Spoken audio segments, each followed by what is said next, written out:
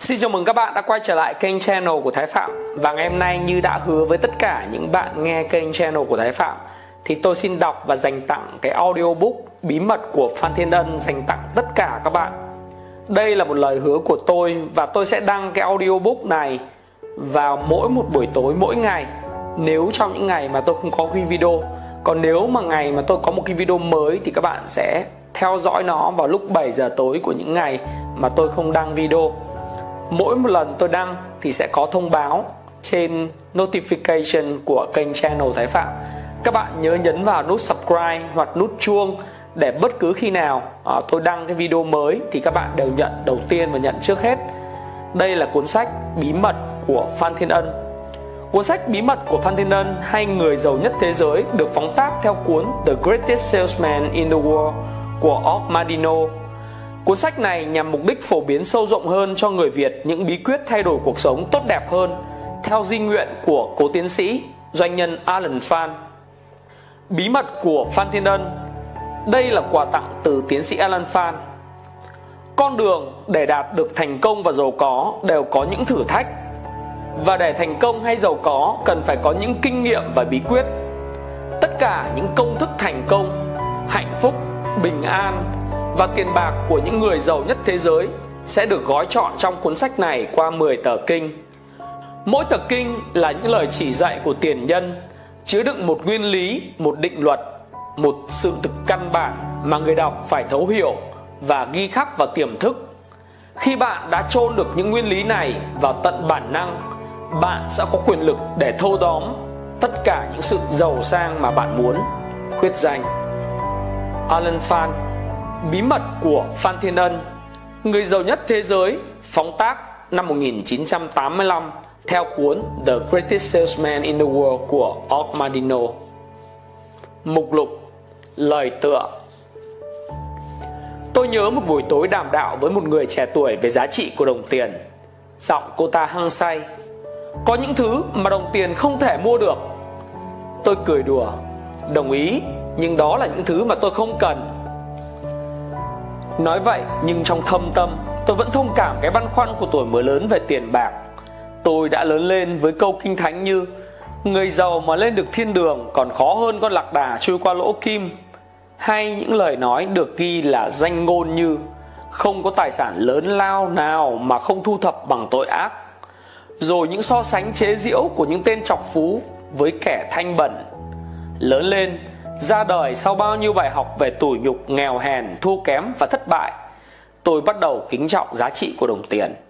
Tôi không biết cái nghèo có mang lại hạnh phúc hay nhân cách cho ta không, nhưng tôi thấy người ta đã nhân danh cái nghèo để bảo chữa cho bao nhiêu tội ác, từ việc mượn danh đấu tranh giai cấp cho đến trộm cướp lường gạt.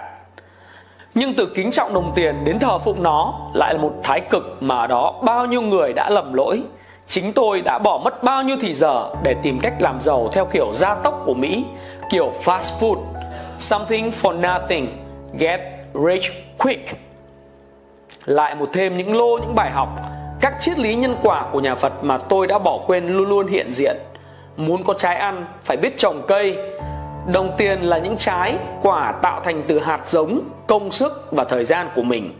Không chịu bỏ gỗ vào lò sưởi mà ngồi đợi hơi nóng thì cái đợi chờ phải là thiên thu. Sau những vấp ngã đó, tôi bắt đầu đi vững vàng. Xã hội và sở thuế bắt đầu xếp tôi vào danh sách những người giàu có. Có tiền, tôi thấy mình rộng lượng hơn, thương và kính trọng tha nhân hơn, nhưng trên hết tôi thương và kính trọng tôi hơn. Những mặc cảm của người dân đã đô hộ chúng ta như người mỹ, người nhật, người tàu, người pháp đã biến mất.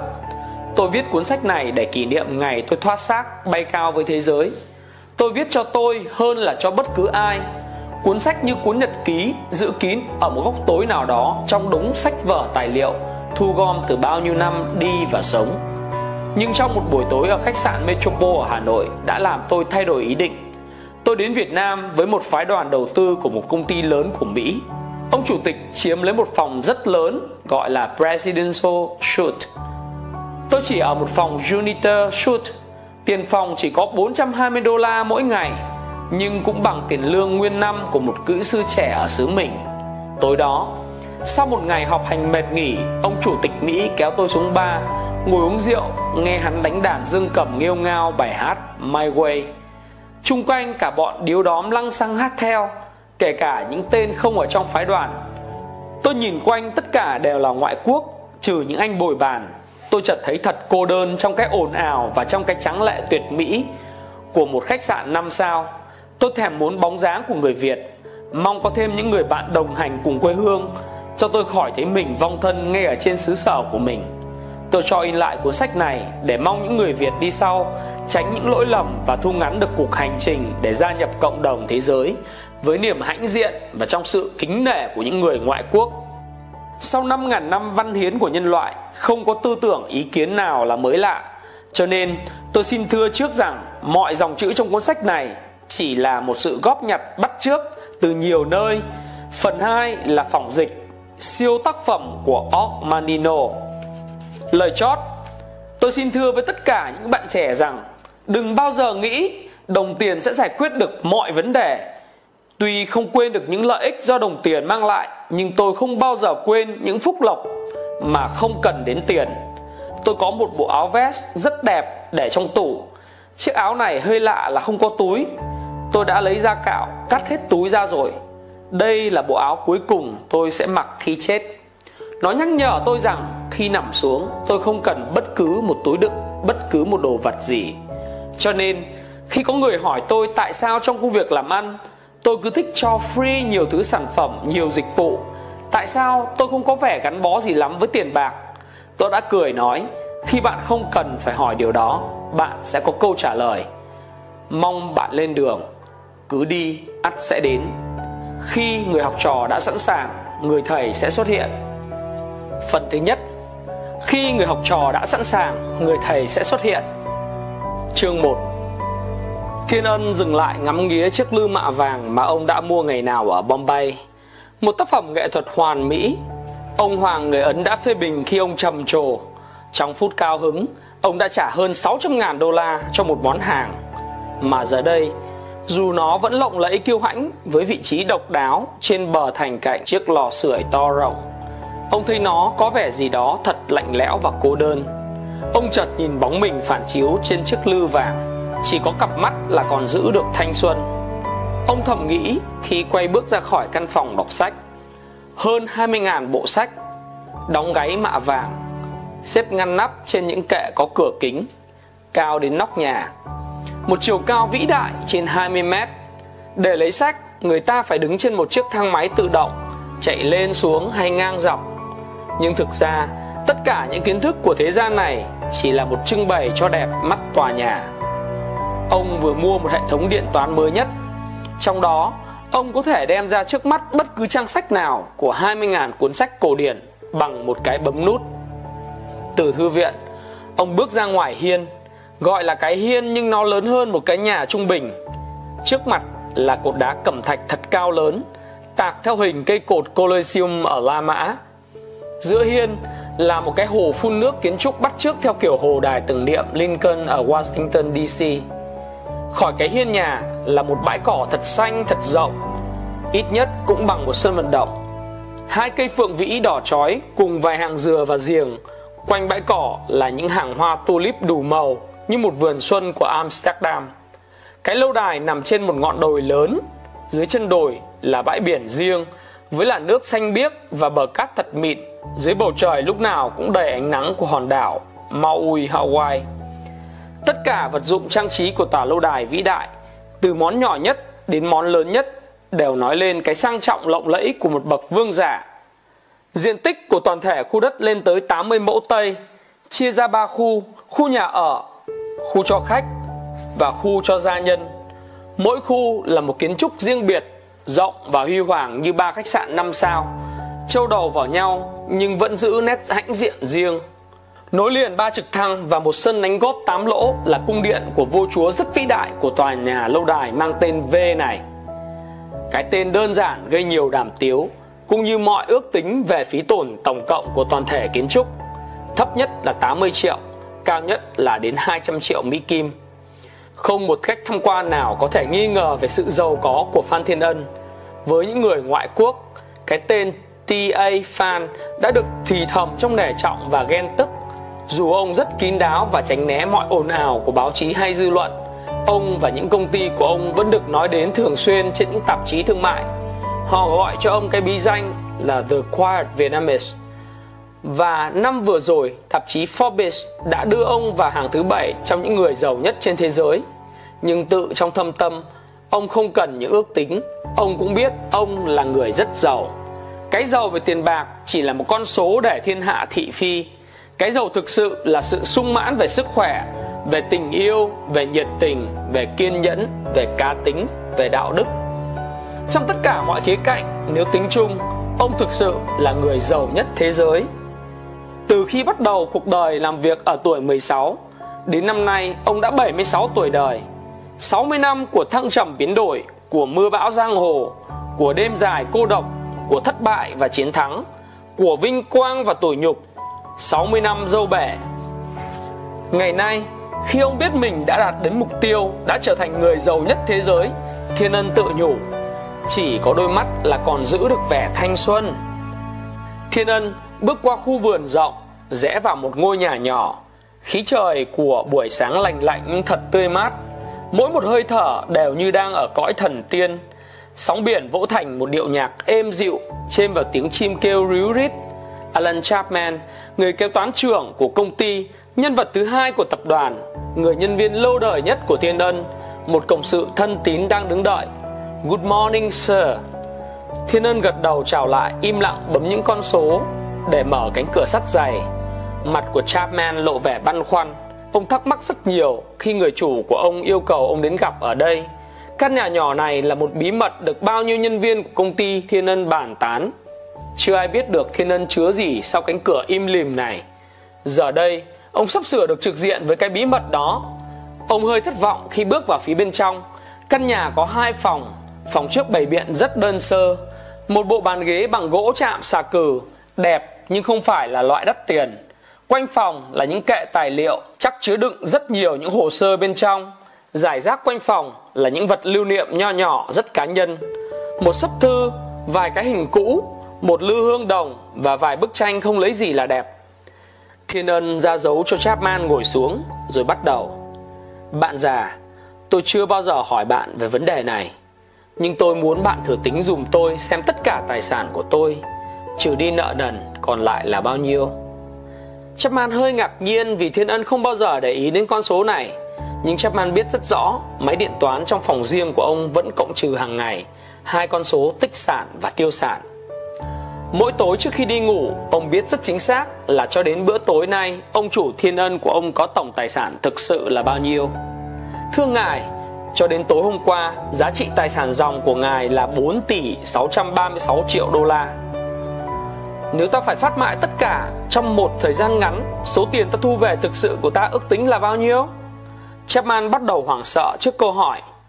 Thưa ngài, trị giá nói trên là dựa trên trị giá theo đối chiếu biểu của các công ty. Các công ty này đều đang hoạt động rất tốt, trừ TechPro và Vias đang lỗ lã nhẹ. Cho nên, nếu tìm được người mua đúng đắn, số tiền thu về còn có thể cao hơn nhiều so với số tiền trên. Tôi ước tính mình có thể thu hoạch trên 6 tỷ Mỹ Kim, trừ thuế lợi tức và tư bản dài hạn khoảng 2 tỷ, ngày còn lại sẽ khoảng 4 tỷ. Phải mất bao lâu để thanh toán mọi tài sản? Chapman thực sự kinh hoàng. Tôi ước chừng 18 tháng. Hơn nữa, số tài sản trên thuộc diện cổ phần trên thị trường chứng khoán và những trái phiếu chính phủ nên ngài có thể thu về 2 tỷ trong vòng 30 ngày. Phần còn lại tùy theo thị trường mua bán nhưng nếu ngài vội vàng, tôi nghĩ là mình có thể hoàn tất mọi thủ tục trong vòng 12 tháng. Được rồi, vậy bạn già hãy bắt đầu quy trình phát mãi ngay lập tức. Liên lạc với các ngân hàng, các tổ hợp luật sư vân vân. Dĩ nhiên là bạn già biết phải làm gì rồi. Chapman thấy một luồng điện mạnh chạy qua cơ thể. Ông ríu lưỡi không nói lên lời. Sau cùng ông lắp bắp.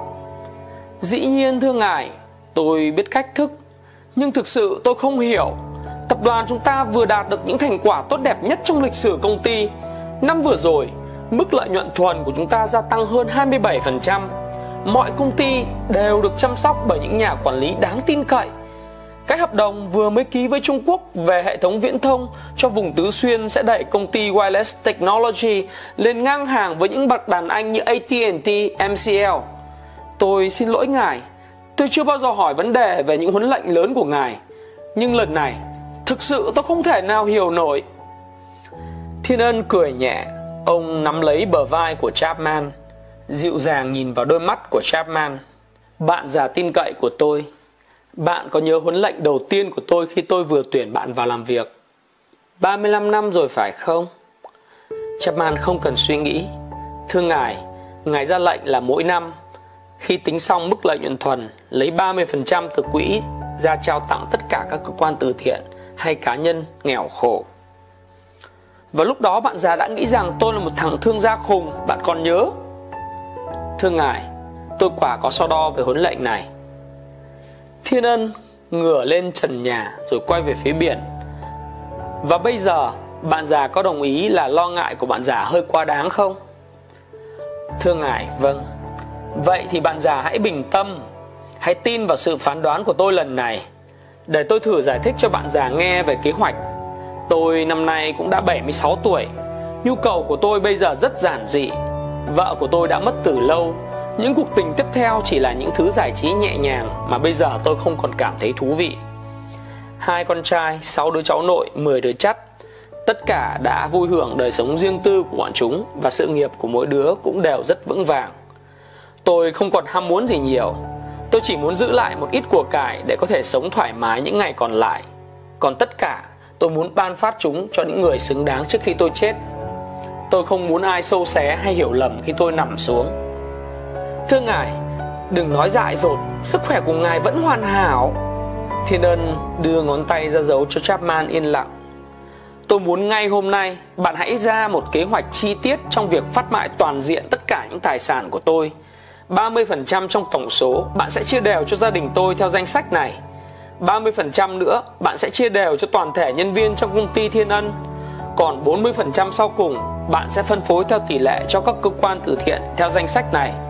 Tôi biết đây là một việc làm rất trái ý muốn và gây đau lòng cho riêng bạn, nhưng mong bạn cố gắng giúp tôi. chaman lắc đầu, giọng ông ta chìm xuống trong cảm xúc. Thưa ngài, tôi vẫn nghĩ là ngài quá vội vàng. Sức khỏe của ngài còn lại với ngài trong một thời gian dài. Tôi không hiểu. Tôi yêu thương ngài với tất cả sự thành kính và tôi muốn tiếp tục ở bên ngài, phục vụ và học hỏi. Nhưng Ý ngài là trên hết. Chapman, tôi yêu cái cá tính đặc biệt của bạn già. Bạn luôn luôn lo lắng cho những người khác hơn cho chính bản thân bạn. Bạn có nghĩ gì về tương lai của bạn không?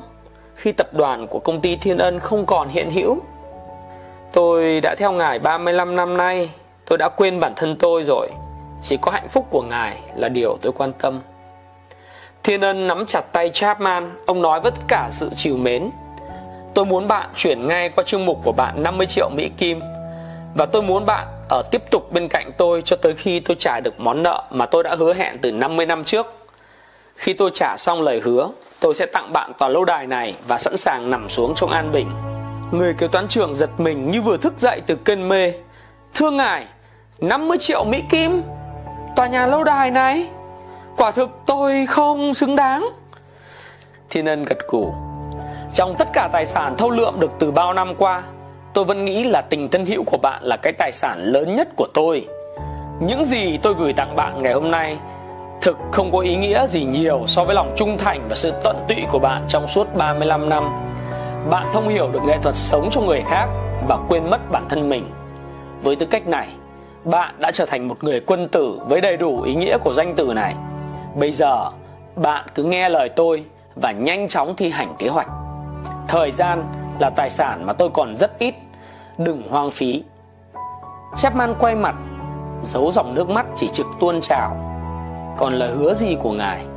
Chúng ta đã sống cạnh nhau như anh em trong nhà Mà tại sao tôi không bao giờ nghe ngài đề cập đến vấn đề này? Thiên ân cười nhẹ và đứng dậy.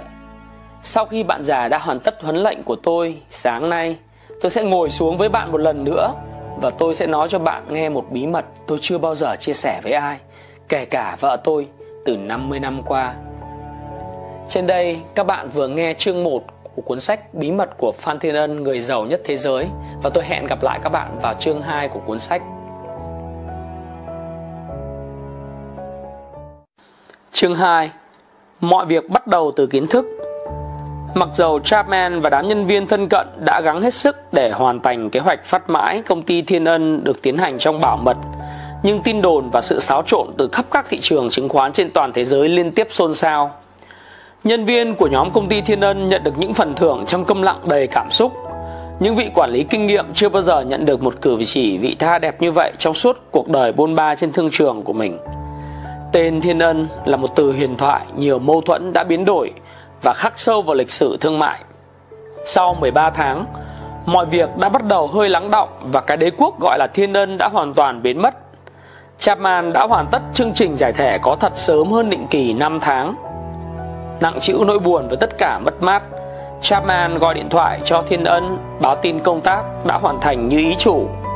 Thiên Ân vắn tắt nói Chapman đến gặp ông ta sáng mai ở căn nhà nhỏ cạnh khu vườn của tòa lâu đài. Thiên Ân đã chờ sẵn phía trên phòng bên trong. Mặt ông thực thư thái nhìn những cánh chim hải âu đang đùa giỡn bên bờ cát mịn. Chapman gõ nhẹ vào cánh cửa mở rộng. Thiên Ân ra dấu cho Chapman ngồi xuống. Ông nhìn thẳng vào cặp mắt buồn rầu của Chapman. Tất cả đã hoàn tất. Vâng thưa ngài, tất cả coi như đã hoàn tất. Bạn già thân mến, đừng buồn rầu nữa. Tôi cảm ơn sự nhanh nhẹn và hiệu năng của bạn. Hãy theo tôi vào căn phòng này. Thiên âm lại bấm những mật mã và ổ khóa tự động Cánh cửa mở ra Chapman lại thất vọng khi chẳng thấy gì Một căn phòng nhỏ hoàn toàn trống trải Và ngoài cái dương sắt cũ kỹ nằm trình hình trên một kệ gỗ ngay ở góc căn phòng Thiên Ân mở cánh cửa sổ Ánh nắng hắt vào Cho thấy rất nhiều bụi bặm và ổ nhện Đã lâu lắm chắc chưa ai đặt chân vào phòng này Bạn già có ngạc nhiên và thất vọng về căn phòng này không? Thưa ngài, tôi không có dám ý kiến nhưng chắc bạn cũng nghe rất nhiều về lời đồn đại về phân phòng bí mật này phải không? Vâng, thưa ngài, ai cũng dỉ tai là ngài đã giấu kín trong căn phòng này và trong nhà đây là một cái điều bí mật ghê gớm lắm. Bạn già, tôi cũng nghe nhiều. Nào là bao nhiêu kim cương bảo vật chất đầy trong những thùng phi 55 gallons. Nào là một vài bộ xương của những kẻ thù của tôi. Nào là tôi đã giam giữ một đứa con gái điên trong căn phòng này Nhưng tất cả chỉ là một cái dương nhỏ Nào bạn hãy giúp tôi mở cái dương này Lấy cái búa cạnh cửa ra đây Lâu ngày chắc chìa khóa đã bị dỉ mục rồi Thiên ân và Chapman quỳ xuống Tháo sợi dây xích quang quấn quanh chiếc dương 10 phút sau đập rồi lắc Cuối cùng hai ông già đã mở được cái khóa của sợi dây xích Rồi mất thêm 15 phút nữa mới loay hoay mở ra được cái dương cũ kỹ Chapman càng kinh ngạc hơn khi thấy trong dương không có gì ngoài những cuốn tập bằng da. Trên đó là những dòng chữ Hán viết nắn nót rất đẹp, theo lối xưa của người Tàu. Những cuốn tập bằng da, cái bí mật gì đây? Thiên Ân cầm lên một cuốn tập da ôm vào lòng và nghiền mắt nhắm lại. Trong khoảnh khắc, khuôn mặt của ông biến dạng, trông thật thanh bình, như người thiền vừa đạt đến cảnh giới ngộ. Ông đứng dậy từ tốn. Nếu căn phòng này chứa đầy kim cương lên tận trần nhà, giá trị của chúng không thể nào so sánh với những cuốn tập da mà bạn vừa nhìn thấy tất cả những thành công hạnh phúc bình an và tiền bạc mà tôi được hưởng đều trực tiếp liên quan đến những cuốn tập này. Cái nợ của tôi với chúng và bậc cao nhân tác giả của chúng là món nợ tôi không bao giờ trả hết. Chapman đi từ kinh ngạc này đến kinh ngạc khác. Thì ra đây là bí mật mà ngài đã nói. Những tập gia này có liên hệ gì tới lời hứa mà ngài nói phải giữ, phải không? Đúng. Những câu văn trên là những cuốn tập này chứa đựng những gì mà giá trị còn quý hơn một kho kim cương. Xin Ngài cho biết Tôi gọi những gì viết trên cuốn tập ra là những tờ kinh, Những lời chỉ dạy của tiền nhân. Tất cả những tờ kinh đều chứa đựng một nguyên lý, Một định luật, Một sự thực căn bản mà người đọc phải thấu hiểu Và ghi khắc vào tiềm thức. Khi người đọc đã chôn được những nguyên lý này vào tận bản năng của hắn Hắn sẽ có quyền lực để thâu tóm tất cả mọi sự giàu sang mà hắn chọn. Chapman nhìn không chớp vào những tờ kinh. Ông vẫn chưa hiểu nổi. Giàu như ngài. Cả thảy là 10 tờ kinh, Nhưng chỉ có tất cả 9 nguyên lý chứa đựng trong 9 tờ kinh. Tờ kinh đầu tiên là tờ để chỉ dẫn cách thức thấu hiểu Và nhập tâm được những nguyên lý sau đó. Người đọc phải thuộc lòng từng tờ kinh theo thứ tự đã ghi sẵn. Như vậy, đâu có gì là khó khăn lắm. Thực vậy, nó rất đơn giản, Nhưng người đọc phải bỏ rất nhiều thì giờ để học thuộc lòng. Phải chăm chú thấu hiểu ý nghĩa của từng chữ, Thì những nguyên lý này trong từng tờ kinh mới có thể thâm nhập vào tiềm thức, chôn sâu vào tiềm thức của hắn. Kết quả sau cùng là nguyên lý đó sẽ trở thành một thói quen không bỏ được. Chapman cầm lên một tờ kinh, đọc qua những dòng chữ hán mà ông không hiểu. Ông tò mò nhìn về phía thiên ân. Xin lỗi ngài, cho tôi táo bạo hỏi vấn đề ngài. Tại sao ngài lại không chia sẻ những nguyên lý này cho người khác, nhất là những đám nhân viên trung thành lâu năm của ngài? Ngài rất rộng lượng, chia sẻ và trao tặng không biết bao nhiêu của cải cho công tác từ thiện. Tại sao Ngài không để cho đám nhân viên của Ngài có cơ hội học hỏi để có thể giàu sang như Ngài? Ít nhất, nếu họ học hỏi được 1 đến 2 nguyên lý thôi, họ cũng trở thành những nhân viên hữu dụng hơn cho công ty. Tại sao Ngài lại giữ kín những nguyên lý kiến thức này suốt mấy chục năm qua?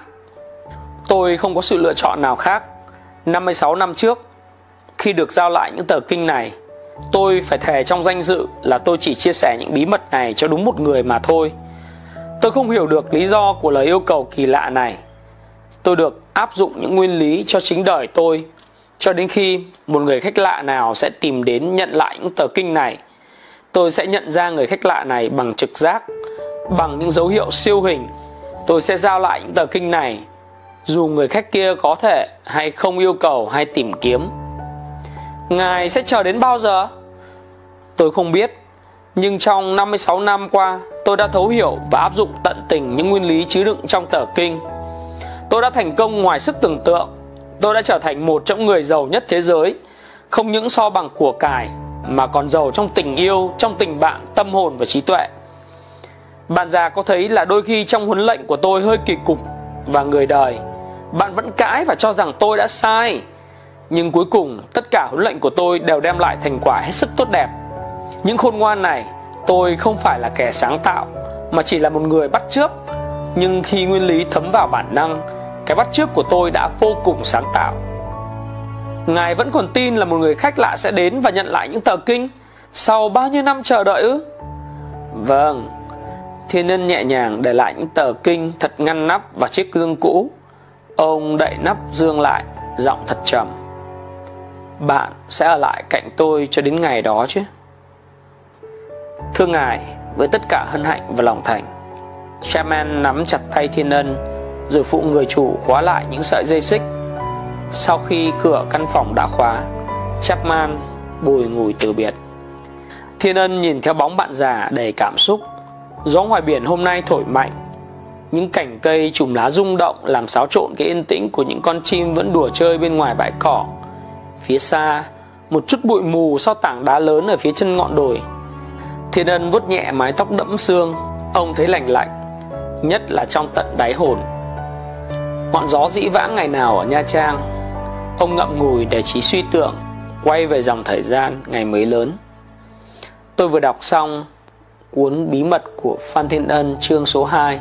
Hẹn gặp lại các bạn về chương số 3. Chương 3 Ngọn lửa của đam mê Buổi trưa hè của Nha Trang không giống như một thời điểm nào trên thế giới, nhất là thời Pháp thuộc. Những năm 40, dù thế giới đang biến động mạnh, Nha Trang vẫn im lìm trong cái thanh bình thu gọn của một tỉnh lẻ. Và trưa ngày hè, thật nóng, thật ẩm, con người chạy trốn dưới những tán cây, trong những căn nhà, tạo cho cái tỉnh vắng lặng mệt mỏi. Nhưng bù lại, tiếng sóng vỗ và chút gió hiu hiu lại du ngủ thật thần tiên. Cái villa của Lương Thành nằm cạnh biển, phía sau tòa nhà thị xã. Mỗi năm, ông ra đây vài tuần để nghỉ mát. Các cơ sở thương mại của ông đều ở tại Sài Gòn. Chiến tranh thế giới đang bùng nổ chung quanh, từ Miến Điện đến Triều Tiên, và Lương Thành lợi dụng tối đa sự thiếu hụt trầm trọng về mọi mặt của hàng hóa khắp nơi. Chiến tranh càng lớn mạnh, tiền bạc Lương Thành càng tích lũy. Những ngày ở Nha Trang này là những ngày yên ổn nhất của Lương Thành. Ông không muốn ai quấy rầy cái yên tĩnh đó Vậy mà thằng Thiên Ân lại xin gặp chuyện khẩn cấp. Hắn mồ côi cha mẹ từ thuở mới đẻ Ông thương tình giúp đỡ tiền bạc cho ông chú họ của hắn có phương tiện để nuôi hắn. Năm 13 tuổi, hắn cần việc làm Ông cho hắn làm tài xế một chiếc xe vận tải chở hàng của ông. Lần đi Nha Trang này, hắn xin thay tên tài xế riêng Lái cho gia đình ông đi nghỉ mát. Ông hơi bực nên sẵn giọng hỏi khi hắn vừa thò đầu vào. Mày muốn gì? Làm gì mà phải khẩn cấp nói chuyện quan trọng? Việc tài xế xe tải của mày không được như ý nữa sao? Thằng bé cúi mặt xuống tấm thảm đỏ. Thưa chú, không. Tại sao giờ rất nhiều và bất thường hả? Hay mày không đủ sức? Thưa chú, không. Vậy thì nói cho tao nghe rõ coi mày muốn yêu cầu điều gì, Cũng như nói rõ lý do lời yêu cầu của mày. Con xin chú cho con làm người bán hàng thay vì tài xế. Con muốn bán giống như Trương Phú Trần Bình. Và những người mại bản khác. Con muốn chú giao hàng cho con như họ. Con muốn được giàu sang như họ. Con muốn thay đổi cuộc đời hèn hạ của con. Làm tài xế con sẽ không sao giàu nổi, Nhưng buôn bán sẽ cho con cơ hội. Ai nói cho mày nghe cái lý tưởng này? Con nghe chú nói với bạn hàng Là không có nghề nào nhiều cơ hội làm giàu bằng nghề buôn bán, Phi thương bất phú. Lương Thành gật cù nhưng tiếp tục hỏi thêm. Mày nghĩ là mày có khả năng biết buôn bán như bọn Trần Bình không? Thiên Ân nhìn lên, Giọng đầy quả quyết. Nhiều lần con nghe chú chê Trần Bình về tật ham chơi của nó. Còn Trương Phú thì ngu và chậm. Nhưng họ biết cách áp dụng cách thức buôn bán do chú chỉ dạy nên thành công. Nếu họ làm được, Tại sao con không làm được? Cho là mày học được đi, Rồi mày sẽ dùng cách thức này để làm gì cho đời mày? Thiên ân do dự chút đỉnh rồi đáp. Thiên hạ đồn chú là người giàu nhất ở xứ mình. Không có ai có cơ sở hay tiệm từ Bắc ra Nam như chú. Con muốn trở thành một người giàu nhất xứ, Rồi cả châu Á, châu Âu. Lương Thành ngã người ra nệm ghế, Chậm chạp nhìn thằng nhỏ, ăn vặn cũ kỹ bẩn thỉu, nhưng mặt nó không có chút gì là khiêm tốn. Rồi mày sẽ làm gì với của cải quyền lực do đồng tiền mang lại? Con sẽ làm như chú. Gia đình con sẽ đầy vàng bạc châu báu phần còn lại con sẽ chia cho người nghèo và nhân viên. Lương thành lắc đầu. Mày phải hiểu sự giàu sang không thể là mục đích của đời sống. Mày nói thì hay lắm, nhưng chỉ là lời nói. Cái giàu sang thực sự phải đến từ trái tim, không phải là từ túi tiền. Thiên ân vẫn cứng cỏi. Bộ chú không giàu sang sao? Lương thành chậm rãi. Mày có biết sự khác biệt giữa tao và thằng ăn mày ngoài ngõ kia là gì không? Thằng ăn mày lo lắng về bữa ăn sắp tới của nó. Còn tao thì suy nghĩ đây, có phải là bữa ăn sau cùng hay không? Nghe tao nói đây, đừng chỉ nghĩ tới giàu sang và làm việc chăm chỉ vì tiền bạc. Hãy đi tìm hạnh phúc, yêu và được yêu. Tìm sự thanh bình cho đầu óc và tâm hồn. Thiên ân vẫn không bỏ cuộc. Nhưng làm sao để có hạnh phúc nếu không có tiền? Ai mà thanh bình khi bụng đói meo ai mà bày tỏ được yêu thương khi không lo nổi cơm ăn và áo mặc cho gia đình ạ? Chính chú nói sự giàu sang là một phước lộc và nó mang đến niềm vui cho mọi người. Con là người muốn cái phước lộc đó. Con cho rằng người nào nghèo là người đó thiếu khả năng hay thiếu tham vọng. Còn thừa hai yếu tố này. Lương Thành không thèm cãi thêm nữa. Tự nhiên sao mày nổi chứng với tham vọng này? Mày nói chuyện phải lo cơm ăn áo mặc cho gia đình, Mà mày đã có gia đình gì đâu? Thiên Ân đỏ mặt. Tháng trước khi chú sai con xuống Cần Thơ, Đưa hàng cho tiệm Thái Hưng, Con có gặp đứa con gái của ông chủ tiệm. À bây giờ mới rõ sự thực. Tình yêu chứ không phải lý tưởng cao xa mới là động cơ thúc đẩy mày. Con gái của Thái Hưng đã dĩ nhiên không bao giờ chịu lấy một tên tài xế, Nhưng với một người mại bản chắc chắn phải được. Thôi, để tao giúp mày mua bán coi. Thiên ân quỳ xuống, ôm chân Lương Thành. Chú Chú đã cứu giúp đời con một lần sau khi mồ côi. Đây là lần thứ hai con mang ơn chú. Lương Thành kéo hắn đứng dậy. Mày để dành lời cảm ơn đó đi đã. Việc mà tao sẽ giúp mày chỉ là một hạt cát so với hòn núi mà phải tự lo di chuyển đi. Thiên ân hơi lo âu. Nhưng chú không dạy con các nguyên tắc và cách thức để trở thành một người mẹ bản thành công hay sao? Không, lúc mày còn mồ côi Tao có thể đem mày về nhà nuôi nấng chiều chuộng Và cho mày đủ thứ vật chất để có một nếp sống nhàn hạ. Tao đã không làm như vậy. Tao để đời mày bắt đầu cuộc đời bằng làm việc chân tài xế. Vì tao tin nếu mày có trong ngọn lửa tham vọng, Dần dần nó sẽ cháy bung ra ngoài.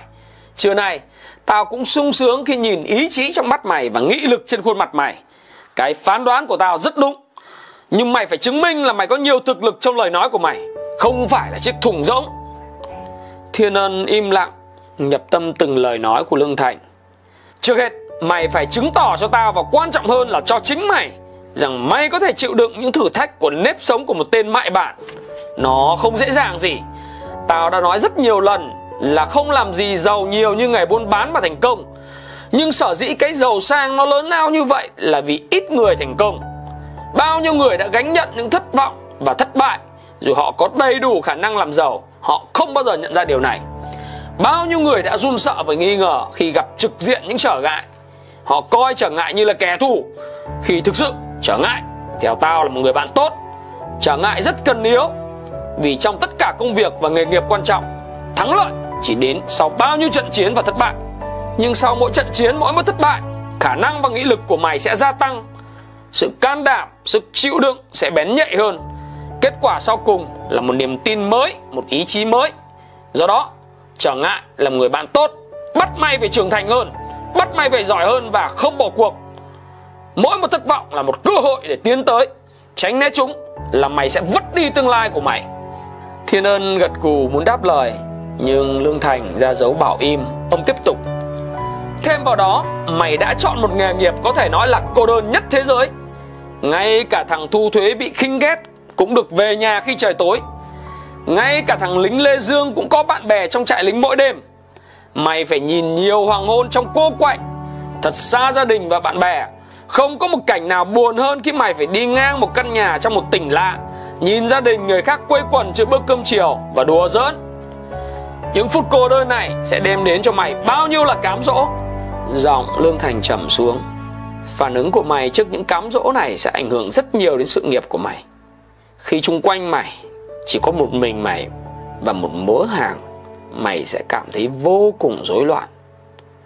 Những mục đích, những giá trị đều lạc hướng và những hành động của mày đôi khi trở thành ngu xuẩn và đem đến những hậu quả khó lường. Bao nhiêu người với những khả năng rất cao về nghề mẹ bạn đã chôn vùi sự nghiệp của họ trong cảnh huống đó. Ngoài ra, không ai sẽ an ủi hay đùa chơi với mày khi mày thua lỗ. Chỉ có những đứa muốn lợi dụng mày thôi. Con sẽ cẩn thận và theo đúng lời chú dặn được rồi, mình sẽ bắt đầu. Tao sẽ không nói gì thêm nữa. Mày vẫn còn là một con sâu. Cho đến khi nó hóa bướm, sâu vẫn là sâu. Cho đến khi mày tạo ra cho mày một sự nghiệp, mày vẫn chưa thể là một tay mẹ bạn. Bao giờ thì con bắt đầu ạ? Thứ hai, khi về lại sài gòn, mày đến kho hàng số 6 gặp thằng Mười Thành. Nó sẽ thành lập một chương mục mới cho mày và sẽ giao cho mày lô hàng đầu tiên một hãng dược phẩm bên Hà Lan mới cho công ty tao độc quyền bán tại Đông Dương một loại thuốc mới chữa bệnh sốt rét công năng gấp trăm lần hiệu Quiquina Ký Ninh đang sử dụng mày sẽ lấy khoảng một nghìn hộp rồi đi thẳng lên Pleiku, Park Sê. Đường đi còn khó khăn, nhiều chỗ mày phải đi bằng thuyền, dân trên đó cũng nghèo lắm. Mấy thằng mại bản của tao chê, không thèm lên bán và tụi dân không có tiền mua.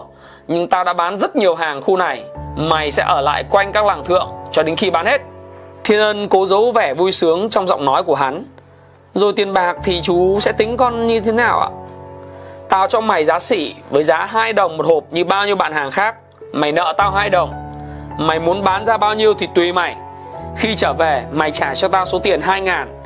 Còn dư bao nhiêu là phấn của mày. Thiên ân gật gù. Trong trí hắn đã bắt đầu phát họa một chương trình làm việc cho ngày mai. Lương Thành vỗ nhẹ lên vai tên tài xế muốn thành mại bạn. Khi về, Nếu mày cảm thấy nghề này không thực sự hấp dẫn, Mày đừng xấu hổ. Tao sẽ cho mày trở lại chân tài xế. Đừng bao giờ xấu hổ vì đã cố gắng làm. Những đứa thực sự thất bại là những đứa không bao giờ dám làm. Khi mày trở về, tao sẽ bàn thêm với mày về kết quả của chuyến đi, rồi mình sẽ tiếp tục tính toán cho những bước tới. Thiên ân cúi chào quay bước ra nhưng ông già vẫn chưa xong. Có một điều mày phải luôn luôn ghi nhớ khi bắt đầu cái nếp sống mới của mày. Đó là mày sẽ vượt qua được bất cứ trở ngại gì, dù lớn lao và khó khăn đến đâu, nếu mày giữ vững ý chí. Và kẻ nào càng có tham vọng thì sẽ càng gặp nhiều trở ngại.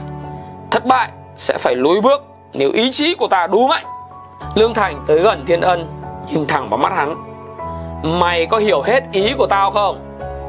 Dạ có, thưa chú. Vậy thì lặp lại cho tao nghe. Dạ thất bại sẽ phải lùi bước nếu ý chí thành công của ta đủ mạnh.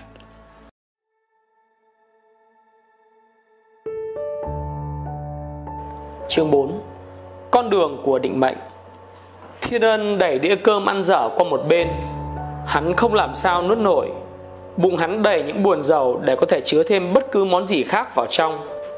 Ngày mai nữa đã là 8 ngày ở Park C. Suốt nửa tháng qua, từ khi đến Pleiku, rồi qua biên giới đi về vùng Hạ Lào này, Hắn đã mòn gót trên tất cả những nẻo đường, Từ hẻo lánh đến đông đúc, Từ thành thị đến bản xa xôi. Hắn nhìn cái vali dưới chân, Một ngàn hộp thuốc vẫn còn nguyên vẹn. Tất cả những ồn ào xung quanh quán ăn Không làm sao xua tan được ý nghĩa liên miên trong đầu của hắn. Cái nghi ngờ sâu xé biết bao tên mại bản Từ thuở khai thiên đang xâm nhập vào đầu hắn. Tại sao thiên hạ không chịu bỏ chút thì giờ nghe lời giải thích của mình? Làm sao để gây sự chú ý? Tại sao mà chưa nói được 5 câu, Họ đã đóng sập cửa lại?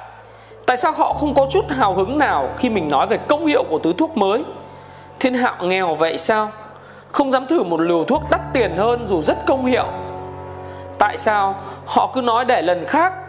Tại sao mình lại có những hoài nghi Khi phải gõ những cánh cửa khép kín? Tại sao mình cứ nghi ngại về cái giá hàng của mình quá cao? Hắn lắc đầu, khinh ghét cái thất bại hèn hạ này. Có lẽ đây không phải là nghề nuôi sống hắn. Có lẽ hắn chỉ nên là một tên tài xế với giấc mộng bình thường, Là một tên mại bạn. May lắm thì hắn huề vốn, Sau khi khấu trừ chi phí mỗi ngày. Lương Thành gọi hắn là gì? Tên chiến sĩ trẻ tuổi tài cao. Trong giây phút này Hắn chỉ muốn ngồi yên thân ngồi trên chiếc xe tải của hắn. Lang thang trên những con đường đã định sẵn. Rồi hắn hình dung đến khuôn mặt và mái tóc của Mỹ Hương. Đến ông cha già khó tính của nàng. Đến cái cửa tiệm Thái Hưng.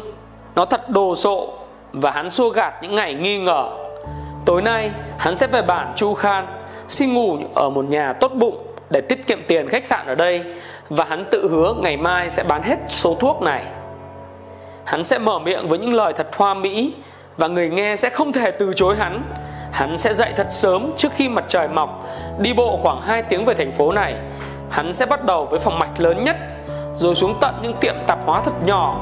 Chỉ một, hai ngày Hắn sẽ quay về Sài Gòn với số tiền lời thật cao. Hắn kéo đĩa cơm lại và cố cho mình ăn để lấy thêm sinh lực. Lương Thành sẽ hãnh diện vì hắn không bỏ cuộc Trước bao nhiêu thất vọng. Hắn sẽ trở về trong thắng lợi. Thực sự, gần một tháng để bán một ngàn hộp thuốc là quá lâu. Nhưng hắn biết rằng lần tới hắn chỉ cần 3 tuần, Rồi 2 tuần, Rồi một tuần. Với sự chỉ dạy của Lương Thành, Hắn sẽ bán một ngàn hộp thuốc chỉ trong vài giờ. Hắn sẽ trở thành tên mại bản giỏi nhất và giàu nhất Sài Gòn. Thiên hạ sẽ ca tụng hắn. Hắn rời khỏi tiệm ăn và bắt đầu đi bộ về hướng Bắc. Phải hơn 12 cây số qua ngọn đồi cao trước khi tới khu bản Chu Khan. Trời bắt đầu trở lạnh. Gót giày của hắn bắt đầu mòn nên hơi lạnh và đã thấm tận vào lòng bàn chân. Cái vali trên tay nặng như ngàn ký, Con đường không xe cộ, Nhỏ và gồ ghề. Buổi chiều của một tên lữ hành thật cô độc. Ngày mai chắc chắn phải khá hơn, Nhưng hắn bắt đầu hiểu tại sao Trương Phú Trần Bình Tránh né vùng thượng nghèo này. Bọn chúng nói không ai có thể bán được gì cho dân ở đây, Và mỗi khi hắn thất bại trong sự thuyết phục những lời bình phẩm này trở lại một ám ảnh trong đầu Lương Thành nói ông ta đã bán rất nhiều cho dân địa phương nhưng có lẽ thời đó tình trạng kinh tế rất khác biệt và Lương Thành là một tay mại bản đại tài. Một chiếc xe cục kịch từ phía sau chạy lại thật chậm. Trên xe chở một lô đàn bà và con nít người Lào. Hắn vẫy lại và xin cho quá giang về bản Chu Khan. Tên tài xế người Lào nhìn quần áo hắn, coi cũng tươm tất đàng hoàng, gật đầu cho hắn lên xe. Hắn tự nhủ mình thật may mắn, tiết kiệm được hai tiếng đi bộ.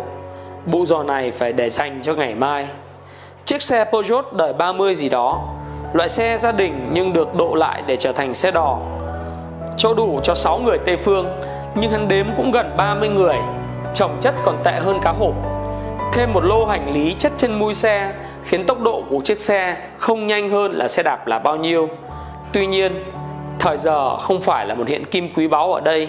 Hắn ngồi ép vào cánh cửa, Không thở nổi với cái mùi hôi hám Và mùi xú uế nồng nặc. Rồi hắn tiếp đi, Một cánh tay dây hắn trở dậy. Tên tài xế già ra dấu cho hắn xuống. Mọi người trên xe đã đi hết từ bao giờ? Trời tối hẳn, Ngọn đèn le lói từ phía thật xa Là những ngọn đèn duy nhất trong một đêm không trăng sao này. Hắn hỏi tên tài xế có phải đây là bản Chu Khan? Trong tiếng Lào chập chững của hắn Tên tài xế chỉ giơ tay xua đuổi hắn. Trả tên tài xế tiền xe Hắn ôm chiếc vali tần ngần không biết đi về hướng nào. Hắn tự nhủ Thôi cứ tìm một nơi nào để ngủ tạm Rồi sáng mai sẽ hỏi rõ đường xá trở về Park c. Hắn quyết định tiến về phía ngọn đèn duy nhất. Tưởng là gần nhưng cũng mất hơn nửa tiếng Hắn mới leo đến nơi.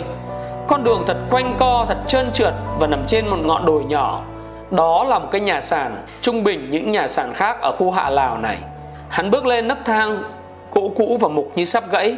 Hắn gõ nhẹ, Rồi gõ nhẹ. Một hồi lâu chiếc cửa mở hé. Khuôn mặt của một thiếu phụ Tây Phương hiện ra. Ông muốn hỏi ai? Bằng tiếng Pháp. Hắn được cho là học trường Pháp từ nhỏ nên rất mừng.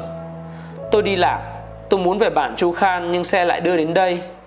Tôi muốn tìm một chỗ ngủ tạm đêm nay Để sáng mai tìm về đường Park C Trong im lặng, người đàn bà mở cửa. Một bộ quần áo của nữ tu, Thiên ân vội vàng Merci monsieur Cảnh tượng bên trong căn nhà làm Thiên ân kinh ngạc.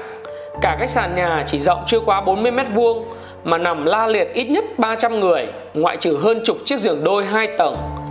Tất cả nằm dài trên chiếu dưới sàn gỗ. Đủ mọi lứa tuổi Từ đứa bé còn bú sữa mẹ Đến ông già hom hem gần đất xa trời. Dù chỉ có một ngọn đèn măng sông ở giữa phòng Thiên Ân cũng nhận rõ là một người coi như đã mất thần sắc. Tháng rồi cả làng bị bệnh dịch. Một giống mũi từ phương Bắc xuống Gây bệnh sốt rét cho hơn 60% dân làng. Tôi đã kêu cứu Park C, Mà Bộ Y tế ở đó cũng không còn thuốc men hay tiền bạc gì để cung cấp. Dân làng chỉ nằm chờ chết, Chỉ vài ba ngày nữa, Tôi không làm gì được. Người nữ tu giọng buồn rầu, Rồi bà chỉ cho Thiên Ân một góc còn lại ở cánh cửa. Ông có thể ngủ tạm chỗ này, Chúc ông ngon giấc. Thiên Ân tần ngần suy nghĩ, Hắn nhìn chiếc vali, Thấy rõ qua lớp vỏ da là một ngàn hộp thuốc HD 305 Hắn quay lại, nhìn những khuôn mặt gần hắn, rồi xa hắn. Những khuôn mặt của bất hạnh và chịu đựng. Những khuôn mặt của sự đầu hàng vô điều kiện, Những khuôn mặt của sự sống đang le lói những ngọn đèn nhỏ chờ cơn gió mạnh để tắt lịm. Tay hắn run run, Cái ổ khóa của vali thật thân thuộc. Hắn đã mở ra biết bao nhiêu lần để lấy những hộp thuốc đưa mẫu mời mọc. Những hộp thuốc này sẽ là chìa khóa để mở một cánh cửa huy hoàng cho tương lai của hắn. Thiên ân nhắm nghiền mắt lại và thở dài. Hắn không còn một sự lựa chọn nào khác thiên ân mở khóa chiếc vali, cầm lên chiếc hộp thuốc hd 305 giải thích cho người nữ tu về công hiệu của chúng. Tôi còn ở đây đúng một ngàn hộp, vừa đủ lượng cho tất cả mọi người, bà giữ lấy. Người nữ tu do dự, nhưng thưa ông, Chúng tôi không có một đồng nào để trả cho ông Và tôi không dám nhận. Thiên ân ôn tồn, Tôi biết bà cứ giữ lấy, Họ cần những thứ này hơn là tôi Hay người chủ của tôi. Thôi chúc bà ngon giấc. Thiên ân quay ra góc cửa, Hắn thấy quá mệt mỏi và không sao mà mắt nổi. Hắn làm một giấc thật ngon. Trên đây các bạn vừa theo dõi kết thúc chương 4 của cuốn sách Bí mật của Thiên Ân. Chương 5 Hai mặt của thành công và thất bại. Thiên ân chậm chạp bước lên cái tầng cấp của cái cầu thang phía trong dành cho khách quý và nhân viên muốn lên thẳng phòng làm việc của Lương Thành. Tầng lầu 5 trong một ngày nóng bức có thể làm người leo thấm mệt, nhưng Thiên Ân không mệt với những bậc thang mà mệt với những ý nghĩ và mưu tính trong đầu. Hắn không hiểu tại sao hắn lại ngu xuẩn tặng không lô thuốc cho những người Lào không quen biết Bây giờ hắn nói gì với Lương Thành đây Và những tên nhân viên khác Bọn nó chắc sẽ bỏ lăn ra cười khi nghe tên mại bản đại tài tặng không hàng hóa thay vì mua bán. Hắn muốn bịa ra một câu chuyện để nói với Lương Thành. Có lẽ hắn sẽ kể chiếc vali bị ăn trộm hay cướp trên đường qua biên giới Lào. Lương Thành có tin không? Dĩ nhiên là phải tin vì đã có rất nhiều trộm cướp trên khúc đường này. Và Lương Thành chắc chỉ la mắng hắn về tội cầu thả. Lương Thành không có khách Ông đứng quay lưng ra phía đường, Nơi sân thượng, nhìn xuống thành phố. Bên dưới là đường Catinat Bên kia là bờ sông Sài Gòn. Cả thành phố chỉ có tòa nhà của ông Và khách sạn Majestic là cao nhất. Ông trầm ngâm suy tưởng về giấc mơ hôm qua. Ông mơ thấy mình đang khiêng một cái dương nặng trĩu, Cái dương mà ông vẫn giữ kín từ bao lâu nay dưới căn hầm nhà riêng của ông. Ông mệt nhoài đẩy cái dương lên một con dốc thật cao, dẫn lên đỉnh núi. Sau bao nhiêu cố gắng, ông đem được nó lên đỉnh. Từ trên trời bỗng nhiên sao động, những đám mây và gió bão chợt nổi lên. Ông lo sợ tìm chỗ trú ẩn. Ông vừa buông chiếc dương ra để chạy thì một chiếc dương tuột dốc lăn xuống phía dưới. Một con đại bàng từ đâu bay đến, dùng cái mỏ ngàn cân cắp chiếc dương rồi bay lên cao. Ông tiếp tục chạy và chạy cho đến một hang núi lạ. Nơi đó có cả trăm người thượng đang nhảy múa nô đùa. Họ vây quanh ông, mời nhảy và uống rượu. Ông giạt họ qua một bên, bước qua khỏi đám đông thì thấy một thanh niên trẻ đang ngồi uống rượu một mình ở góc tối. Dưới chân hắn là chiếc dương mà con đại bàng đã cắp bay đi. Ông tới gần thì nhận ra chàng thanh niên đó là thằng Thiên Ân. Ông chợt tỉnh giấc và không sao ngủ lại được. Giấc mơ là nỗi ám ảnh suốt ngày hôm nay. Ông tiếp khách lấy lệ, chỉ trong tâm trí chiếc dương và Thiên Ân là đề tài thường trực. Một tiếng động phía sau, ông quay lại thì thấy Thiên Ân đang đứng đợi. Mày mới về đó hả? Ngồi xuống đây, kể cho tao nghe mọi chuyện. Mày không xách cái vali về, có nghĩa là mày đã bán hết hàng. Đáng khen, uống ly trà này rồi ngồi nói chuyện. Đêm qua tao cũng nằm mơ thấy có chuyện hơi lạ kỳ. Lương Thành dựa ngửa trên chiếc ghế rộng, lơ đãng nghe Thiên Ân kể lại câu chuyện dài của hắn. Từ những cái từ chối nhẹ nhàng cho đến những chửi bới la mắng hắn phải chịu đựng từ Pleiku đến Parkse. Ông gật gù và mỉm cười khi nghe câu chuyện tên lính Pháp chĩa súng vào đầu hắn dọa bắn hắn cũng như tên vợ bác sĩ Lào khoe hắn cái su chiêng rồi đá đít hắn ra khỏi cửa.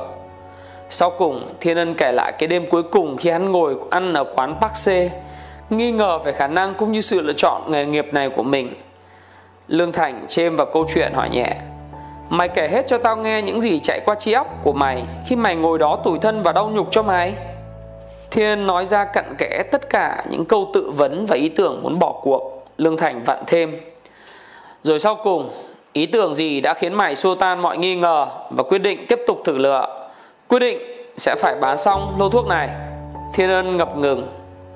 Lúc đó con nghĩ đến hình ảnh của Mỹ Hương, con gái ông Thái Hưng. Con biết rằng nếu con thất bại, con sẽ không bao giờ dám gặp cô ta nữa. Rồi Thiên Ân nói như khóc nhưng con đã thất bại, thưa chú Thất bại? Tại sao? Mày có đem cái lô hàng về lại đâu? Vừa khóc vừa nói, Thiên Ân kể lại phần cuối của câu chuyện Từ khi ngủ quên trên chiếc xe đỏ Đi lạc vào làng thượng, Đến bản Chu Prong thay vì Chu Khan, Khi gặp bà nữ tu người Pháp Với hơn 300 bệnh nhân, Lương Thành thừa người suy nghĩ, Miệng ông mím lại, Nhưng trên nét mặt vẫn có gì đó hóm hình Ông nhớ lại từng chi tiết giấc mơ đêm qua của ông. Thiên ân bận lau nước mắt nên không để ý đến thái độ của Lương Thành. Hắn cúi gằm mặt trong xấu hổ và sợ hãi, Chờ cơn giận dữ của Lương Thành Khi hắn nói đến việc hắn tặng nguyên vali lô thuốc cho bà nữ tu. Tuy nhiên, hắn chỉ nghe tiếng ầm ừ Rồi Lương Thành đặt nhẹ tay lên vai hắn vỗ về. Chuyến đi này của mày cũng khá lợi ích cho mày. Không đâu thưa chú, Lương Thành tiếp tục và lợi ích cho cả tao nữa. Mày giúp tao tìm được lối thoát mà suốt 36 năm qua tao chưa tìm thấy. Thôi, để tao giải thích rõ hơn cho mày nghe khi qua Tết. Giờ tao còn đang bận rộn về câu chuyện khẩn cấp. Bây giờ tao yêu cầu mày điều này. Thưa chú con nghe. Mùa này, Tết nhất sắp đến, Phải giao hàng thật nhiều. Mày trở lại lấy chiếc xe vận tải, Tiếp tục làm tài xế tạm thời. Qua Tết rồi tính tiếp. Thiên Ân đứng dậy, cúi đầu trong cảm kích. Thưa chú Chú dạy sao con nghe vậy? Con rất ân hận, đã làm cho chú thất vọng. Được rồi, Quay trở lại vị trí chữ của mày đi. Qua Tết gặp tao. Thiên Ân bước ra khỏi phòng. Bước chân nhẹ như bay, Khác hẳn một vài giờ trước Khi hắn chậm chạp nặng nề bước vào căn phòng này. Khi hắn vừa ra khỏi cửa, Lương Thành kêu hắn lại. Mày yên tâm ngủ ngon, Mày đã không thất bại như mày nghĩ đâu. Các bạn vừa nghe xong chương 5 của cuốn sách Bí mật của Phan Thiên Ân. Chương 6 Kết quả của trận chiến đã được định đoạt trước khi phát súng khai hỏa. Hai tháng trôi qua từ ngày Thiên Ân trở về từ Hạ Lào, hắn bình an trở lại công việc của một tên tài xế. Sáng hôm đó, Lương Thành cho người gọi Thiên Ân đến gặp ở ngôi biệt thự riêng ở đường Duy Tân.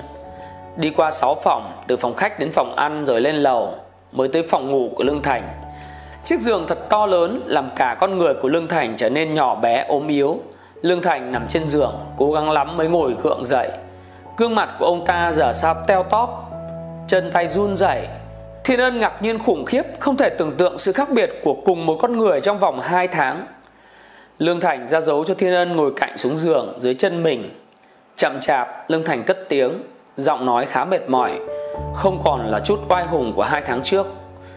Thiên Ân, Mày đã có hơn 2 tháng để suy nghĩ lại về tham vọng của mày. Mày vẫn giữ ý định sẽ trở thành một tên mại bản giàu có. Thưa chú vâng. Ông già gật gù. Được rồi, định mệnh đã sắp sẵn. Tao muốn bỏ ra ít thì giờ để làm việc. Bàn luận thêm với mày Nhưng như mày thấy Ông trời có ý muốn khác. Tao vẫn nghĩ tao là tên mua bán đại tài Nhưng tao vẫn không hay mua bán gì nổi với ông thần chết đang trầu trực ngoài cửa. Hắn à, vẫn không chịu trả giá. Cơn ho rũ rượi làm Lương Thành ngưng lại. Ông loay hoay tìm ống thuốc xịt rồi lọ dầu. Thiên ân cuống quyết phụ giúp.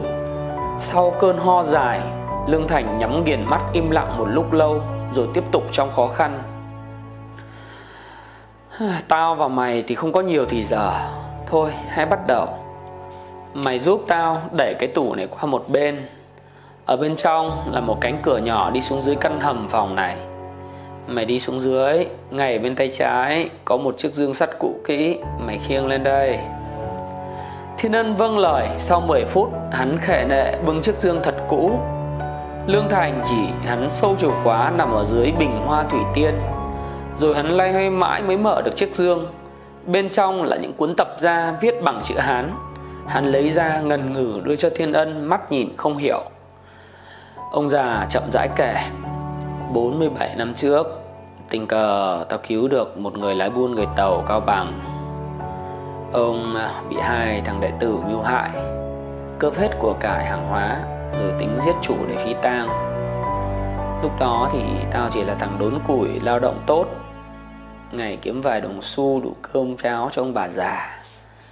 Ông lái buôn tặng cho cha mẹ tao một chiếc món tiền lớn Rồi nặng nặc đưa tao về Quảng Châu nuôi nấng như con đẻ từ đó tao bắt đầu theo ông đi mua bán qua ngày. Cho đến năm tao 30 tuổi uh, Ông mới giao lại cho ta tập dương này. Trong dương thì có 10 cuốn tập ra Mỗi cuốn ghi theo số thứ tự. Cuốn 1 thì chỉ cách thức để học Và sử dụng 9 cuốn còn lại. Tất cả ghi 9 nguyên lý căn bản và bí quyết để trở thành một người mẹ bạn thành công. Rồi ông bắt tao phải thuộc lòng từng cuốn một lặp đi lặp lại từng lời kinh chỉ dạy liên tiếp 30 ngày mỗi cuốn. Sau 9 tháng, 9 nguyên lý này đã trở thành một phần của đời tao, giúp tao suy nghĩ, à, hành động và phản ứng những bí quyết như đã nhập tâm. Sau 9 tháng, những bí quyết này trở thành một tiềm thức. Một năm sau thì ông giao lại cho tao cái dương, một phong thư dán kín và 50 đồng tiền vàng. Phong thư chỉ được đọc khi tao đến Hà Nội. Tao chào giã từ cả gia đình rồi trực xuống phía nam Hà Nội. Lá thư dặn tao hãy dùng 50 đồng tiền vàng cùng với 9 nguyên lý đã nhập tâm để bắt đầu một cuộc đời mới. Thiên Ân lắc đầu, Con vẫn không hiểu, thưa chú. Để tao giải thích, Từ Hà Nội tao bắt đầu mua bán và áp dụng đúng 9 nguyên lý đã học. Tao thành công ờ, ngoài sự dự đoán của cả chính tao và đã tạo nên một tài sản khổng lồ như mày đã thấy đấy. Dầu rằng tao đã cho hết một phần ba lợi tức như đã hứa. Trong khi đó, tao cố gắng tìm một dấu hiệu để giao lại chiếc dương này. Trước ngày mày về đây, tao mơ thấy một giấc mộng khá lạ kỳ. Tao có mơ nhưng chưa bao giờ nhớ là mình đã mơ gì mà lần đó không thể nào quên được dù chỉ là một chi tiết nhỏ. Rồi Lương Thành kể lại giấc mơ của chiếc dương về những người thượng về thiên ân.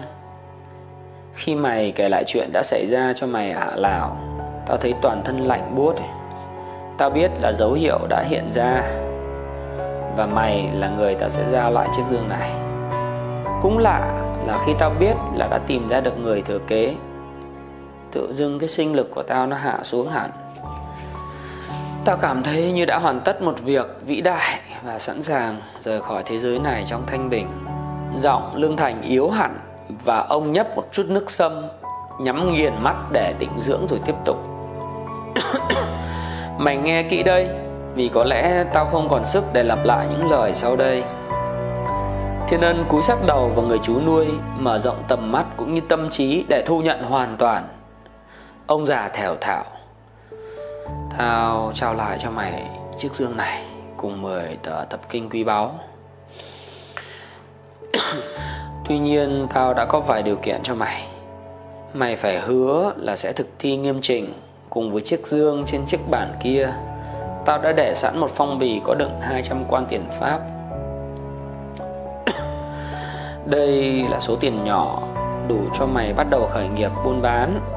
Tao có thể cho mày nhiều hơn. Một số tiền thực lớn. Nhưng làm như vậy Sẽ chỉ làm hư hỏng mày, Tao nghĩ vậy. Mày phải trở thành một người mại bản giàu có Và thành công do nơi cố gắng mày, Chứ không phải do nơi đâu khác. Đó là mục tiêu của đời mày. Mà mày đã nói với tao ở hôm Nha Trang rồi. Sáng mai đó, Mày xuống cơ sở Phước Thành gặp thằng Bảy Trạch. Nó sắp xếp xếp. Để mày có một chân làm việc ở chiếc tàu sẽ đi Pháp tuần tới. Khi tàu tới Marseille, Mày hãy lên bờ, Rồi tìm cách làm ăn ở Pháp. Mày phải rời khỏi đây, Vì tao tin mày sẽ thành công lớn. Cá lớn thì phải sống ở biển cả sông hồ, Không thể ở trong một suối rạch ao tù được. Phải đi ra với thế giới để học cái khôn, cái giỏi của thiên hạ. Từ pháp thì tao tin là mày sẽ có cơ hội làm ăn với âu châu rồi mỹ châu. Bây giờ thì hãy bắt đầu ở marseille đi. Khi tới pháp phải kiếm chỗ ăn ở tạm. Khi ấm chỗ rồi thì hãy lấy tờ kinh số 1 ra mà đọc. Tao đã dịch sẵn tiếng Việt cho mày rồi. Mày sẽ đọc đi đọc lại Nghiền gẫm tới lui Cho đến khi thuộc lòng từng dòng chữ thì thôi. Dù thuộc lòng rồi, mày cũng phải lặp đi lặp lại mỗi ngày liên tục trong 30 ngày. Chỉ khi mày thấu đáo được mọi ý nghĩa. Và chỉ sau 30 ngày mày mới bắt đầu từ kinh số 2 nghe chưa? Vừa học, vừa ứng dụng vào công việc làm ăn mỗi ngày Mày sẽ thấy thương vụ gia tăng theo cấp số nhân. Điều thứ nhất của tao là mày phải thề là mày sẽ nghiêm chỉnh thực thi toàn bộ huấn lệnh của tờ kinh số 1 Mày có chịu thề không? Dạ thưa chú con xin thề. Tốt. Khi mày áp dụng hết 9 nguyên lý trong 9 tờ kinh một cách đúng đắn, hoàn chỉnh, Mày sẽ trở thành một tên mại bản giàu có Và thành công hơn. Mày mơ ước nhiều. Điều kiện thứ hai của tao là mày phải thề là mày sẽ luôn đem một phần ba lợi tức và của cải để trao tặng cho những người kém may mắn hơn mày. Nghe không? dù bất cứ trạng huống nào, mày sẽ không được bội ước với lời thề này. Mày có chịu thề không? Dạ thưa chú, con xin thề. Và điều kiện sau cùng là mày phải giữ kín, không chia sẻ tờ kinh hay với bất cứ nguyên lý nào chứa đựng trong đó cho ai. Bất cứ ai, nghe không? Cho đến khi mày hiểu, đến một ngày nào đó, có một cái dấu hiệu siêu hình giống như tao sẽ cho mày biết là phải trao lại chiếc riêng này cho người đó. Từ trong tim mày mày sẽ biết dù người đó không biết gì về cái dương ngoài ra khi mày giao lại cho người thứ ba này người này sẽ không cần phải giữ kín như tao và mày nữa. Lá thư của cha nuôi có nói rõ là người thứ ba sẽ toàn quyền chia sẻ nguyên lý này với thiên hạ. Mày có chịu thề là sẽ tuân thủ lời dặn này không? Dạ thưa chú con xin thề. Lương thành thở dài nhẹ nhõm như một gánh nặng ngàn cân vừa được chút ra khỏi đôi vai gầy yếu. Ông cười nhẹ, run run vuốt má Thiên Ân rồi cầm chặt tay hắn. Lấy chiếc dương này, cái phong bì kia rồi soạn sửa rời Việt Nam đi. Tao sẽ không bao giờ gặp mày nữa, tao nghĩ vậy. Tao cầu chúc mày mọi sự may mắn và nhớ là lúc nào tao cũng trông đợi sự thành công của mày với tất cả thương yêu. Đừng suy nghĩ thêm vụ con gái ông Thái Hưng Sau vài năm thành công Mày sẽ vinh quang trở về sum họp và nếu tao còn sống, Cho tao gửi lời chúc phước, Tất cả hạnh phúc của hai đứa mày. Dòng nước mắt tuôn tràn khuôn mặt thiên ân, Hắn thổn thức cúi hôn đôi tay gầy của Lương Thành. Con cảm ơn chú, Con sẽ không bao giờ quên ơn chú, Con sẽ về lại thăm chú. Nhưng cả Thiên Ân lẫn Lương Thành đều có cảm giác Đây là lần cuối cùng hai người gặp nhau. Thiên ân khiêng chiếc dương nhỏ từ từ ra cửa, Giọng đầy cảm xúc, Hắn ngừng trước khi quay gót. Con còn nhớ, lần trước khi con đi hạ Lào Chú có dặn con một câu, Thất bại Phải lùi bước nếu ý chí thành công của ta đủ mạnh, Con sẽ không bao giờ quên lời dặn dò đó. Lương Thành mỉm cười gật đầu, Ông giơ tay chào giã biệt Lại một lần nữa lên đường. Các bạn vừa nghe xong chương 6 của cuốn sách Bí mật của Phan Thiên Ân. Hẹn gặp lại các bạn ở chương 7 của cuốn sách.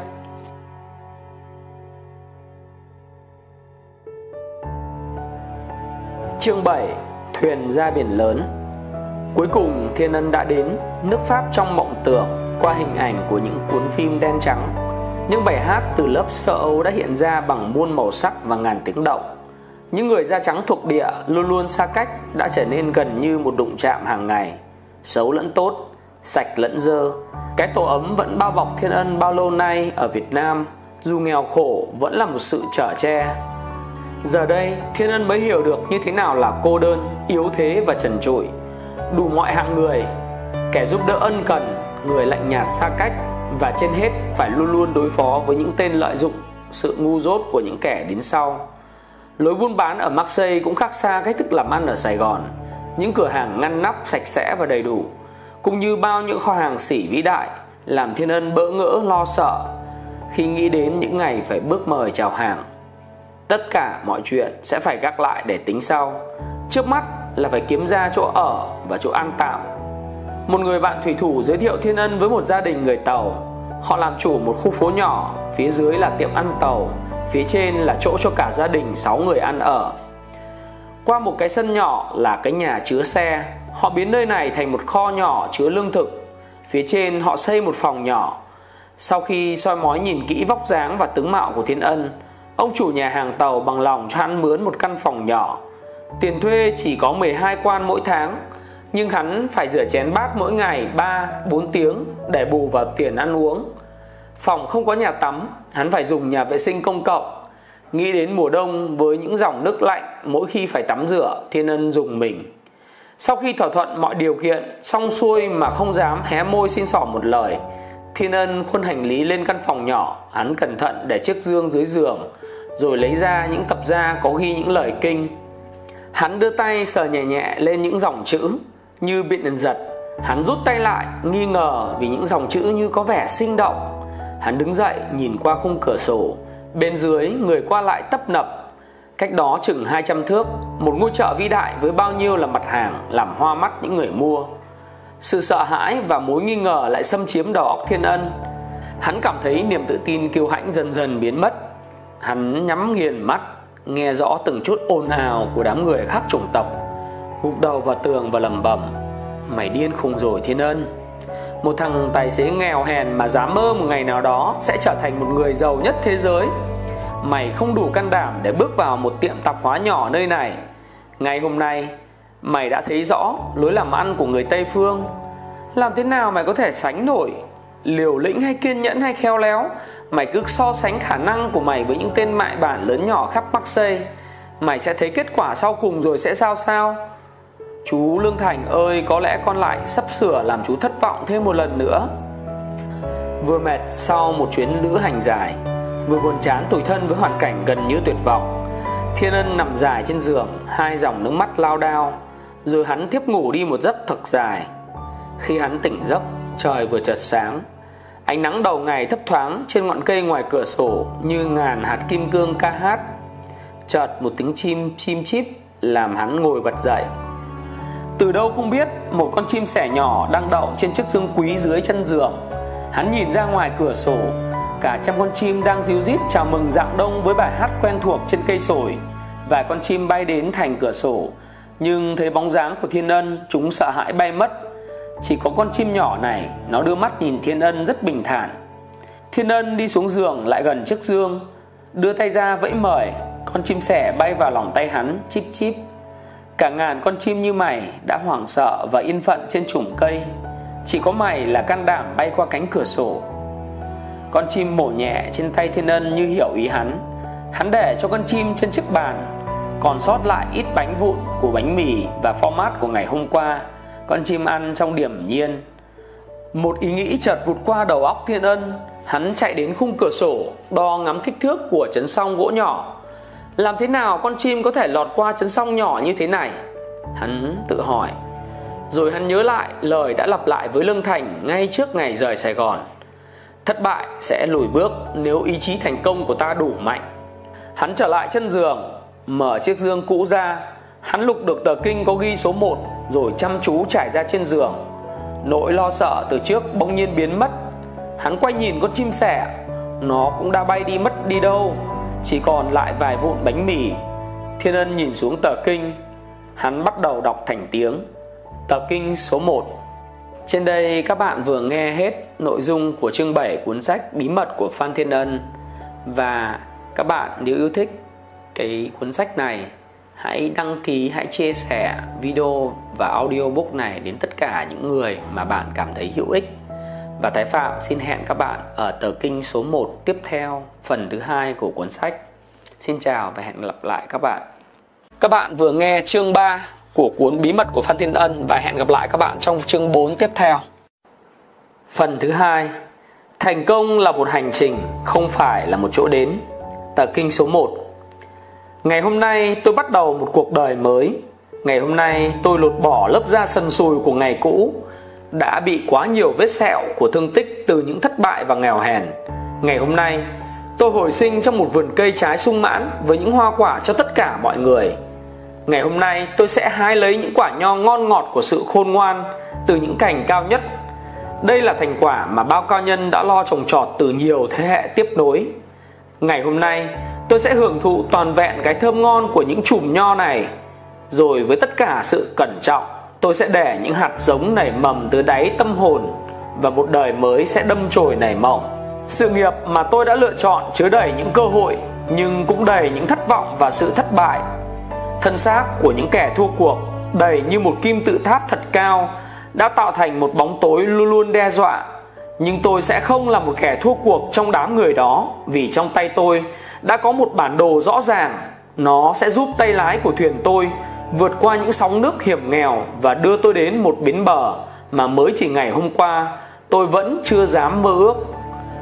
Tôi sẽ không bao giờ mặc cả thêm nữa với sự thất bại. Thiên nhiên không bao giờ muốn đẩy đọa thân xác tôi. Thiên nhiên cũng không có ý định gây cho đời sống của tôi những thất vọng. Trong quá khứ, tôi đã chấp nhận đau đớn như chấp nhận thất bại. Kể từ nay tôi sẽ loại bỏ chúng như loại bỏ những bóng tối đã vây quanh. Tôi sẽ đón nhận những sự khôn ngoan của những cao nhân Của những điều kính dạy bảo Như đón nhận tia nắng mặt trời rực rỡ của thịnh vượng, quyền lực và hạnh phúc Để đưa tôi đến giấc mộng thiên đường mà tôi hằng mong ước. Thời gian sẽ lần lượt dạy dỗ tất cả khôn ngoan cho kẻ nào bất tử Nhưng tôi không có cái may mắn để sống ngàn đời.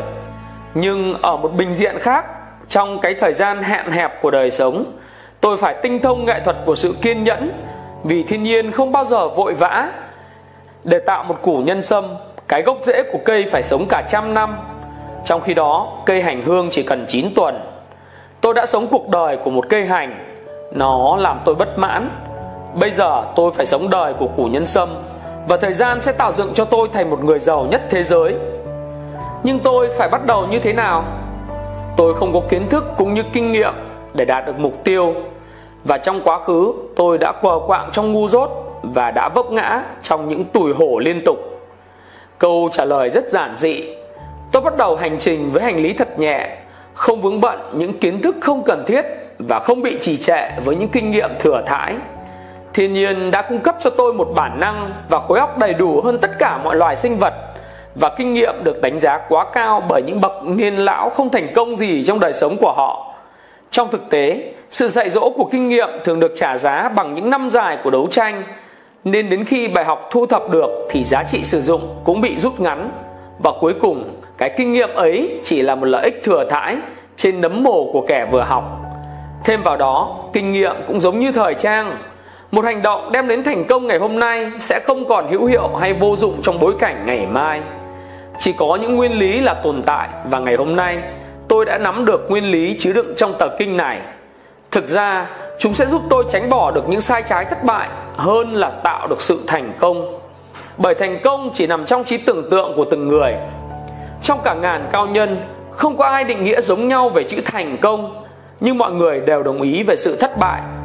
Thất bại là sự thua cuộc trước khi đạt tới mục tiêu của đời sống, bất kể mục tiêu đó là gì. Hãy nhớ điều quan trọng, cái khác biệt duy nhất của người thất bại và kẻ thành công là sự khác biệt trong những thói quen của họ những thói quen tốt là chìa khóa của mọi thành công. Những thói quen xấu là cánh cửa đóng kín của thất bại. Do đó, điều luật đầu tiên tôi phải nghiêm trọng thi hành trước mọi nguyên lý khác đó là tôi sẽ tập trung vào thói quen tốt và trở thành nô lệ của chúng. Thuở nhỏ, tôi là một nô lệ của bản năng. Lớn lên, tôi là nô lệ của thói quen. Tôi để mặc ý chí của tôi trôi nổi không ràng buộc và qua năm tháng, tôi tích tụ những thói quen xấu dẫn dắt tôi vào con đường hèn mọn gập ghềnh. Hành động của tôi bị chi phối bởi phản ứng từ những cảm xúc nhất thời như tham lam, thành kiến, sợ hãi dèm pha, thèm muốn và say mê rồi tất cả cấu thành thói quen xấu xa. Ngày hôm nay, nếu đã là một nô lệ, tôi sẽ là nô lệ của những thói quen tốt. Những thói quen xấu của ngày cũ phải được chôn vùi thật sâu và trên những luống cây mới, những thói quen tốt sẽ nảy mầm tôi sẽ tập những thói quen tốt và trở thành nô lệ của chúng. Tôi phải làm sao để đạt được mục đích này? Mỗi tờ kinh tiếp theo đây đều chứa một nguyên lý giúp tôi xua đuổi một thói quen xấu và thay nó bằng một thói quen tốt. Định luật của thiên nhiên dạy rằng chỉ có một thói quen mới mới có thể thay được một thói quen cũ.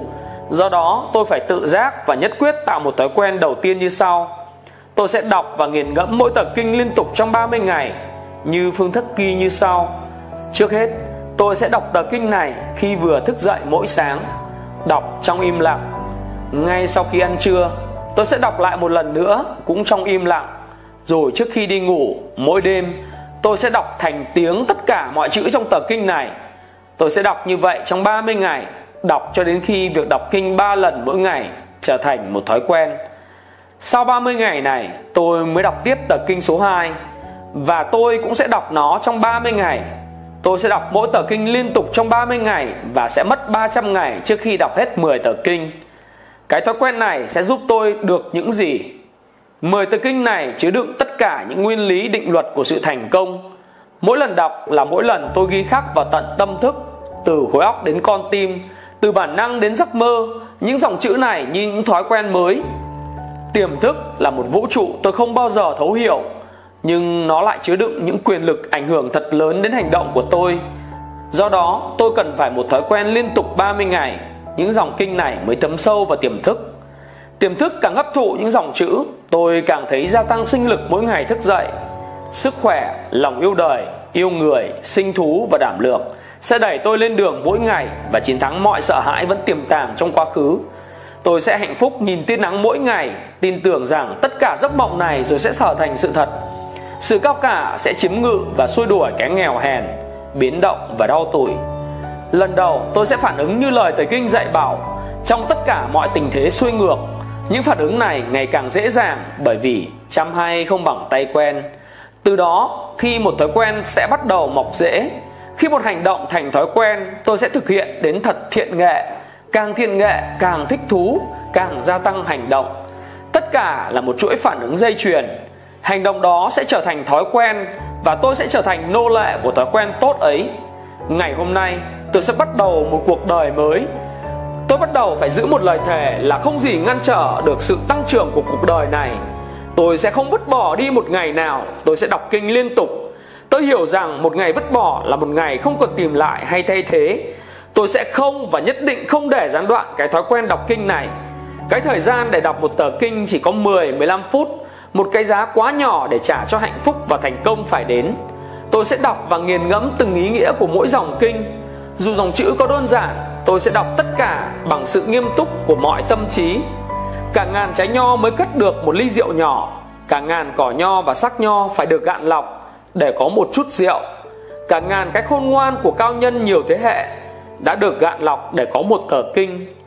Tôi sẽ đọc như tôi đã kính cẩn uống một ly rượu nho không một giọt nào sẽ đổ ra. Cái mầm của thành công đã được tôi uống trọn vẹn và đang nằm trong tiềm thức. Ngày hôm nay, lớp da cũ của tôi đã trở thành cát bụi. Tôi ngẩng cao đầu, bước đi những bước mạnh của kẻ chiến thắng. Dù không ai biết, ngày hôm nay tôi đã trở thành một con người mới, với một cuộc đời mới.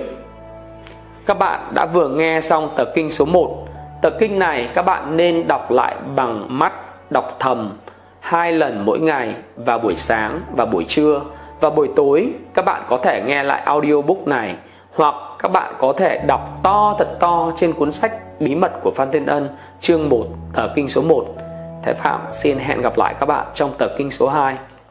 Xin chào mừng các bạn đã quay trở lại kênh channel của Thái Phạm và tôi xin đọc tiếp tập kinh số 2 trong cuốn sách Bí mật của Phan Thiên Ân, cuốn sách đã thay đổi cuộc đời của hàng triệu người. Tập kinh số 2 Tôi xin đón chào ngày hôm nay bằng yêu thương từ tận đáy tim bởi vì yêu thương là bí quyết cao lớn nhất cho mọi thành công trong doanh nghiệp. Sức mạnh của bắp thịt có thể cắt xuyên áo giáp và hủy diệt sự sống, nhưng chỉ có yêu thương mới đủ mạnh để mở rộng tim người. Cho đến khi tôi thấu đáo được nghệ thuật của yêu thương, tôi chỉ là một tên lái buôn nhỏ nhoi trên chợ nghèo tỉnh lẻ. Tôi sẽ dùng yêu thương là vũ khí chính yếu và không ai giao tiếp với tôi có thể đương đầu với sức mạnh của yêu thương. Họ có thể phản pháo lý luận của tôi. Họ có thể nghi ngờ lời nói của tôi. Họ có thể chê bai vóc dáng bên ngoài của tôi. Họ có thể chối bỏ thái độ lịch lãm của tôi. Và họ có thể bới móc chế giễu đề nghị thương lượng của tôi. Nhưng với yêu thương, tôi sẽ làm mềm yếu tất cả mọi con tim. Như tia nắng mặt trời sẽ tan chảy những tảng đá mùa đông lạnh lẽo nhất tôi xin đón chào ngày hôm nay bằng yêu thương từ tận đáy tim nhưng tôi phải bắt đầu thế nào? Kể từ nay, tôi sẽ nhìn vạn vật bằng cặp mắt của yêu thương Và tôi sẽ hồi sinh trong cái nhìn mới này. Tôi yêu tia nắng đã sửa ấm da thịt tôi Như tôi yêu giọt mưa đã gột rửa sạch sẽ tâm hồn tôi. Tôi yêu ánh sáng đã dọi đường cho tôi đi Như tôi yêu cái bóng tối đã giúp tôi nhìn thấy cả trời trăng sao. Tôi yêu nỗi vui mừng đã giúp mở rộng trái tim tôi như tôi yêu cơn buồn bã đã giúp mở rộng tâm hồn tôi. Tôi đón nhận những phần thưởng vì tôi xứng đáng, nhưng tôi cũng sẽ chào mừng những trở ngại vì chúng giúp tôi trưởng thành. Tôi xin đón chào ngày hôm nay bằng yêu thương từ tận đáy tim. Và tôi sẽ nói gì đây? Tôi sẽ khen tặng kẻ thù và họ sẽ trở thành bằng hữu. Tôi sẽ cổ vũ bằng hữu và họ sẽ trở thành anh em. Tôi sẽ luôn luôn tìm đủ lý do để ca tụng tôi sẽ không bao giờ bới móc tìm lỗi để bàn tán thị phi. Tôi sẽ ngậm miệng khi thấy muốn phê bình. Tôi sẽ hét vang trời khi tôi muốn ca ngợi. Tôi thấy tất cả chim chóc, biển cả, gió mát và thiên nhiên đều chỉ biết thứ âm nhạc của ca tụng. Tôi sẽ ca hát cùng điệu với tất cả anh em bằng hữu. Kể từ hôm nay tôi sẽ nhớ bí quyết này và tôi sẽ thay đổi toàn diện đời sống của tôi. Tôi xin đón chào ngày hôm nay bằng yêu thương từ tận đáy tim. Và tôi sẽ xử sự như thế nào đây?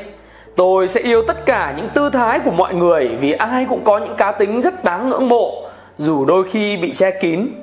Với tình yêu, tôi sẽ đập bỏ bức tường nghi kỵ và căm hận quanh trái tim họ để thay thế bằng những nhịp cầu đối trái tim tôi với tâm hồn họ.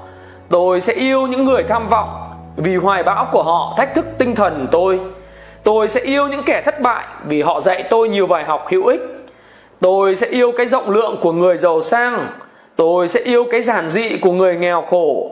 Tôi sẽ yêu cái cô đơn của người quyền thế. Tôi sẽ yêu cái kiên nhẫn của người yếu kém.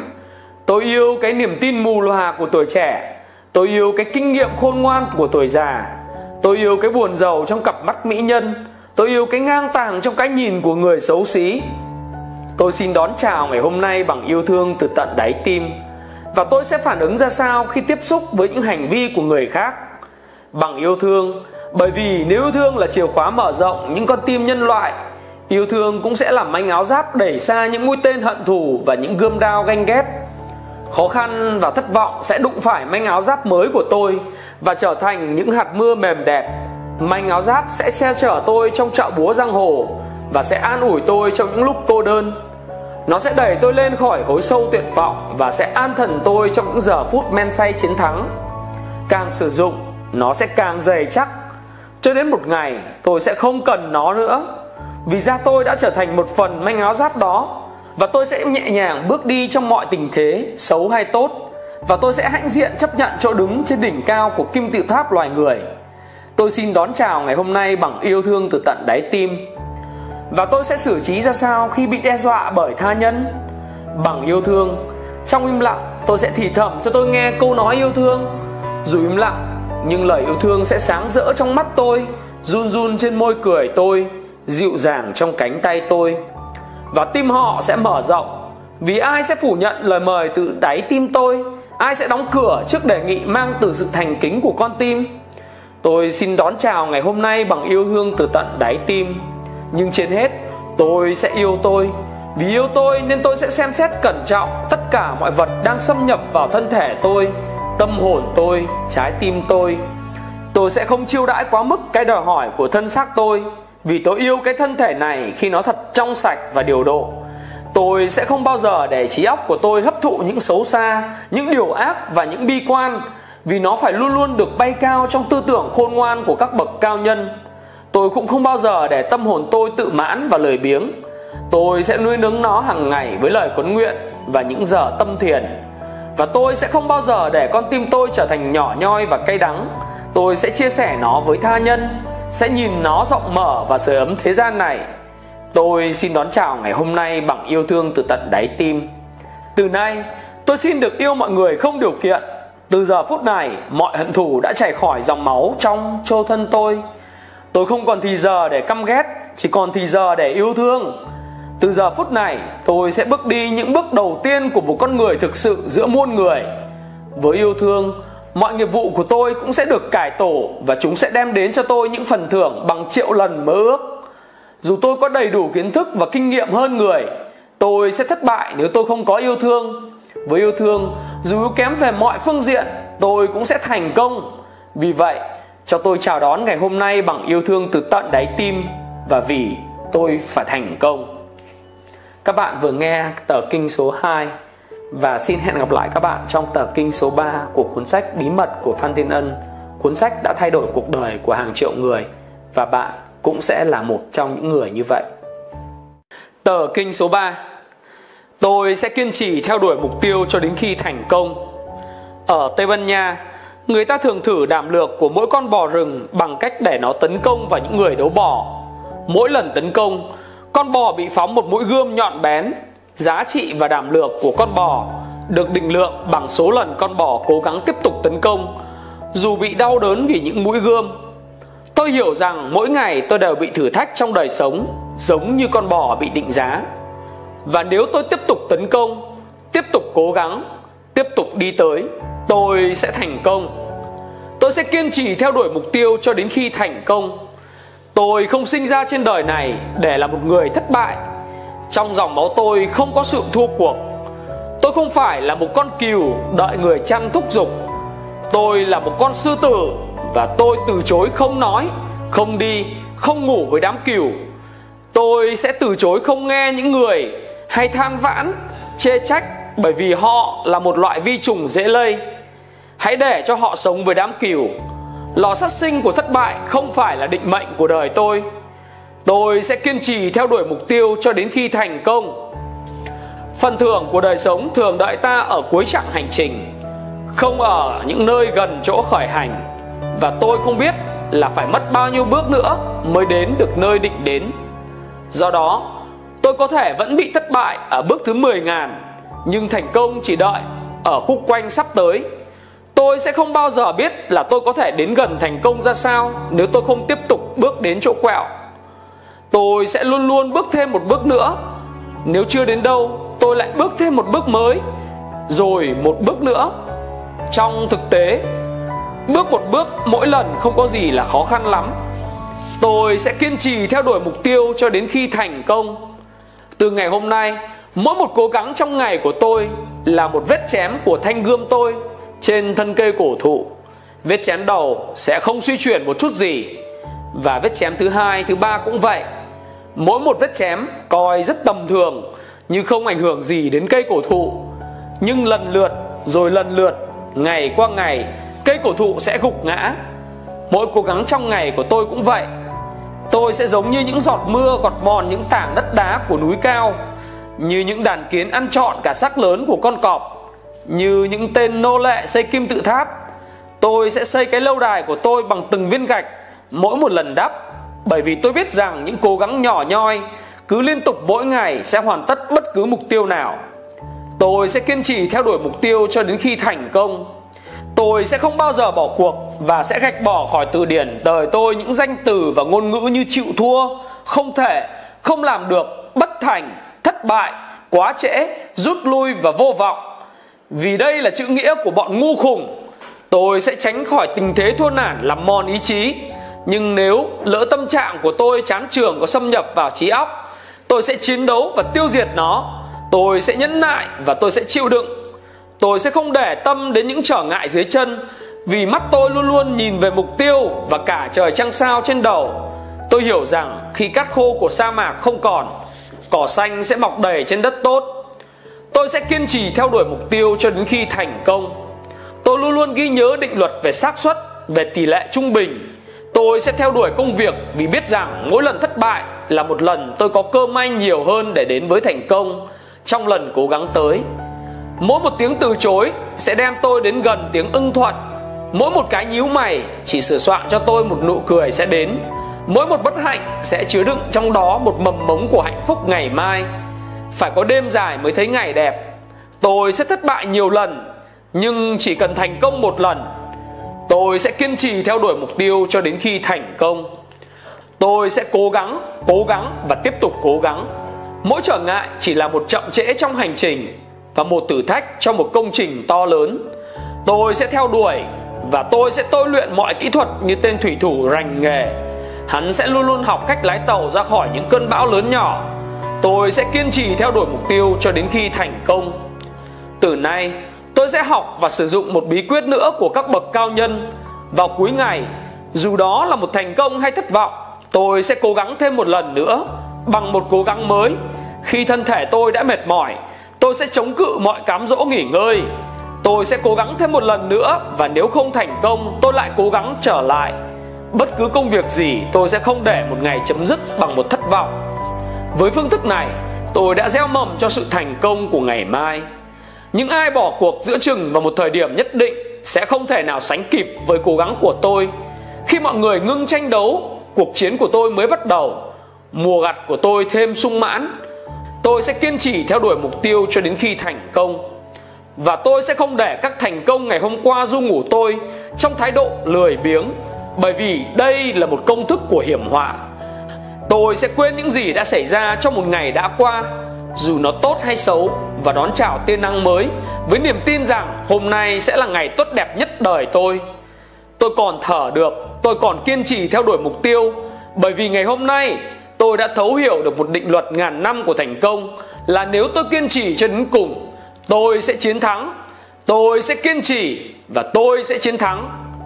Các bạn vừa nghe xong tờ kinh số 3 của cuốn sách Thay đổi cuộc đời hàng triệu người, bí mật của Phan Thiên Ân và tôi xin hẹn gặp lại các bạn trong tờ kinh số 4.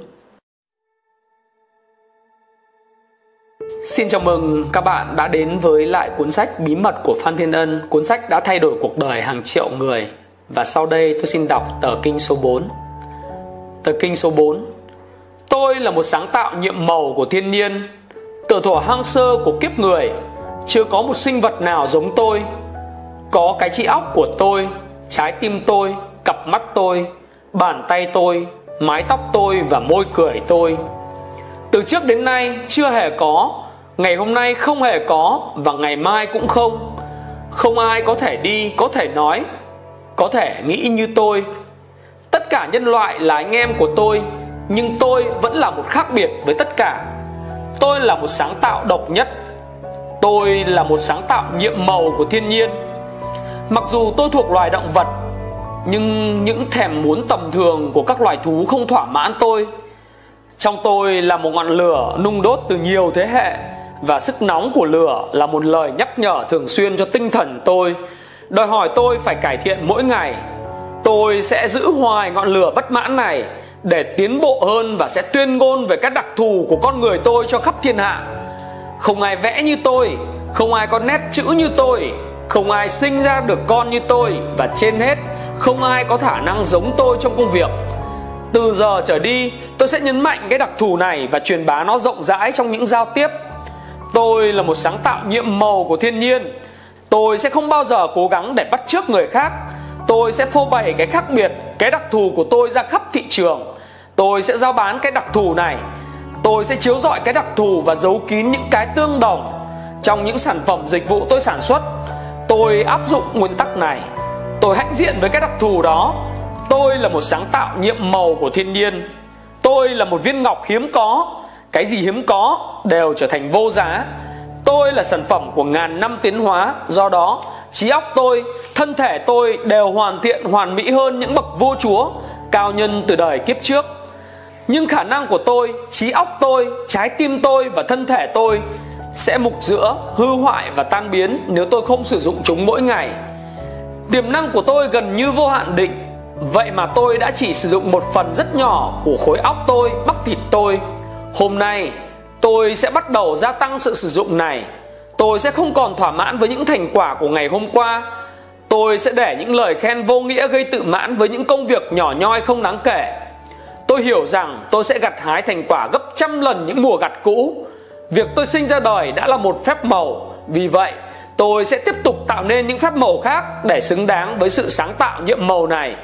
Tôi là một sự sáng tạo nhiệm màu của thiên nhiên. Tôi sinh ra không do một sự tình cờ hay tai nạn. Tôi được đặt để trong đời này vì tôi có một nhiệm vụ. Nhiệm vụ đó là tăng trưởng trở thành một ngọn núi cao, không phải thu gọn lại để trở thành một hạt cát. Kể từ nay, tôi sẽ tận dụng mọi cố gắng để trở thành một ngọn núi cao nhất và tôi sẽ áp dụng mọi tiềm năng trong tôi mỗi ngày, mỗi giờ, mỗi phút. Tôi sẽ thu thập nhiều hơn mọi kiến thức về tha nhân, về cá nhân tôi, về sản phẩm dịch vụ tôi sản xuất hay cấu tạo mà tôi sẽ thấy thành quả nhảy vọt theo cấp số nhân. Tôi sẽ tôi luyện, sẽ cải thiện, sẽ hoàn tất mọi hành động, mọi lời nói, bởi vì đây là nền móng sự nghiệp của tôi tôi không bao giờ quên là rất nhiều người đạt được những sự nghiệp vĩ đại chỉ nhờ một lời nói đúng lúc, đúng chỗ, một việc làm đúng nghĩa, đúng thời. Do đó, tôi sẽ tiếp tục dùng diễn thuyết, chúng phải như mật ngọt đối với đàn ong ngoài kia. Tôi là một sáng tạo nhiệm màu của thiên nhiên. Tôi sẽ tập trung mọi năng lực vào các thử thách đang có trước mặt và khi hành xử, sẽ quên hết các quấy rầy khác. Công việc nhà tôi sẽ để lại ở nhà.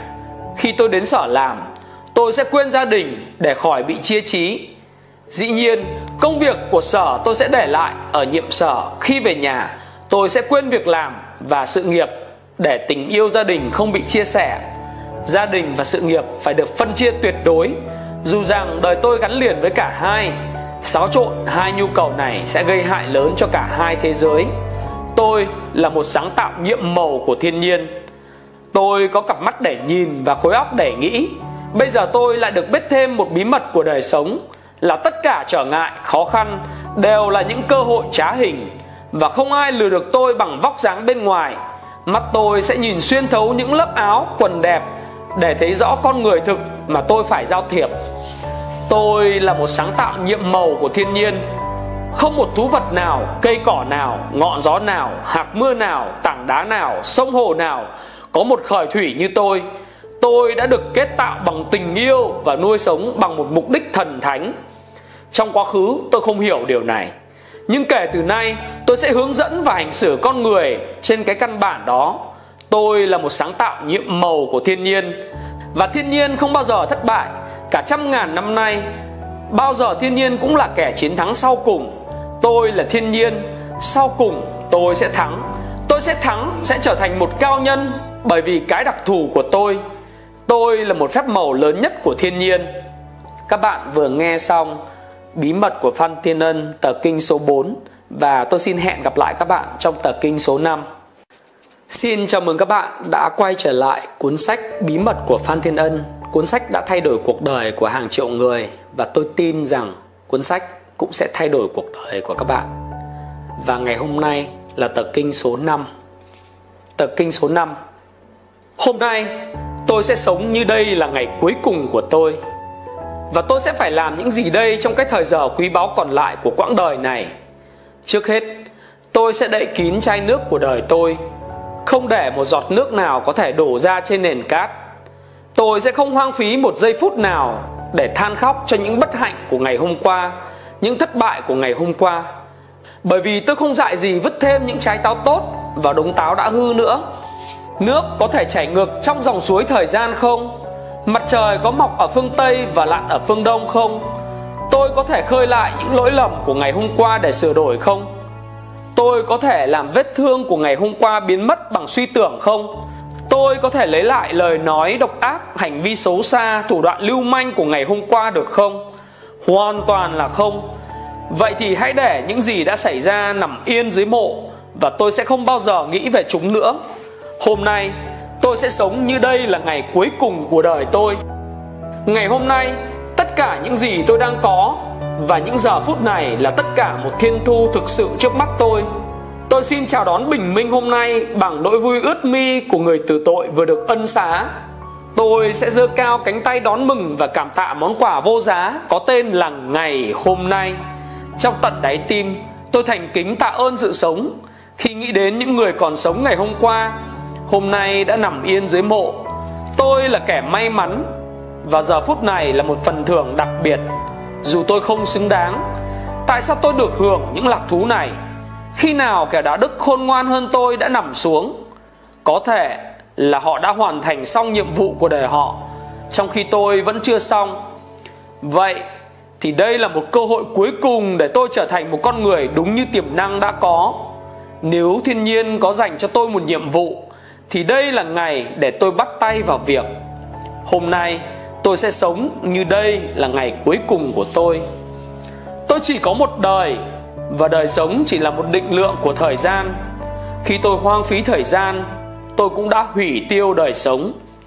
Nếu tôi hoang phí ngày hôm nay tôi sẽ hủy thiêu trang cuối cùng của trang sách của đời tôi vì vậy tôi sẽ nâng niu chiều mến mỗi một giây phút vì thời gian không bao giờ trở lại thời gian không như tiền bạc bỏ vào chương mục ngày hôm nay để lấy ra ngày mai thời gian là gió thoảng, không ai có thể cầm giữ tôi sẽ ôm chặt từng phút giây của ngày hôm nay bằng cái ôm trang trọng của tình yêu dành cho một vật vô giá một nhà tỷ phú có thể mua thêm được giây phút nào trước khi nhắm mắt không? Vậy thì tôi làm sao định giá được thời gian? Hôm nay tôi sẽ sống như đây là ngày cuối cùng của tôi. Tôi sẽ tránh né hoặc tiêu diệt những kẻ thù của thời gian. Tôi sẽ giết chết những do dự bằng hành động. Tôi sẽ giết những nghi ngờ bằng niềm tin. Tôi sẽ cười vang trêu ghẹo những sợ hãi. Tôi sẽ không nghe những thị phi nhỏ nhoi Tôi sẽ không bàn luận những câu chuyện vô bổ Tôi sẽ không tụ họp với những kẻ vô công rồi nghề Tôi hiểu rằng, Khi ăn không ngồi dỗi, Tôi đã cướp đi những thức ăn, Những áo quần những tiện dụng của tha nhân. Tôi không thể là một tên trộm. Tôi là một con người với đúng nghĩa của con người. Và hôm nay là người cuối cùng Để tôi bày tỏ cái vĩ đại của con người tôi. Hôm nay, tôi sẽ sống như đây là ngày cuối cùng của tôi. Tôi sẽ hoàn tất mọi nhiệm vụ phải làm của ngày hôm nay. Hôm nay, tôi sẽ chơi đùa với con cái tôi vì ngày mai chúng sẽ đi xa và tôi sẽ không bao giờ nhìn thấy chúng hôm nay tôi sẽ hôn nồng nàn người tôi yêu say đắm. Vì ngày mai tất cả chúng ta đều phải ra đi. Hôm nay tôi sẽ giúp đỡ bạn tôi vì hắn đang cần. Ngày mai, hoặc hắn sẽ không cần nữa, hoặc tôi sẽ không còn nghe được những lời khẩn cầu của hắn. Hôm nay tôi xin dâng hiến tâm hồn và thể xác này cho công việc. Vì ngày mai, tôi không còn gì để cho và không còn ai để nhận hôm nay tôi sẽ sống như đây là ngày cuối cùng của tôi. Và nếu đây là ngày cuối cùng, tôi phải sáng tạo một tuyệt phẩm để đời thật vĩ đại. Hôm nay sẽ là ngày tốt đẹp nhất của đời tôi. Tôi sẽ sống say đắm đến từng phút giây, nghe men rượu thấm từng thớ thịt và cảm tạ sự say đắm này.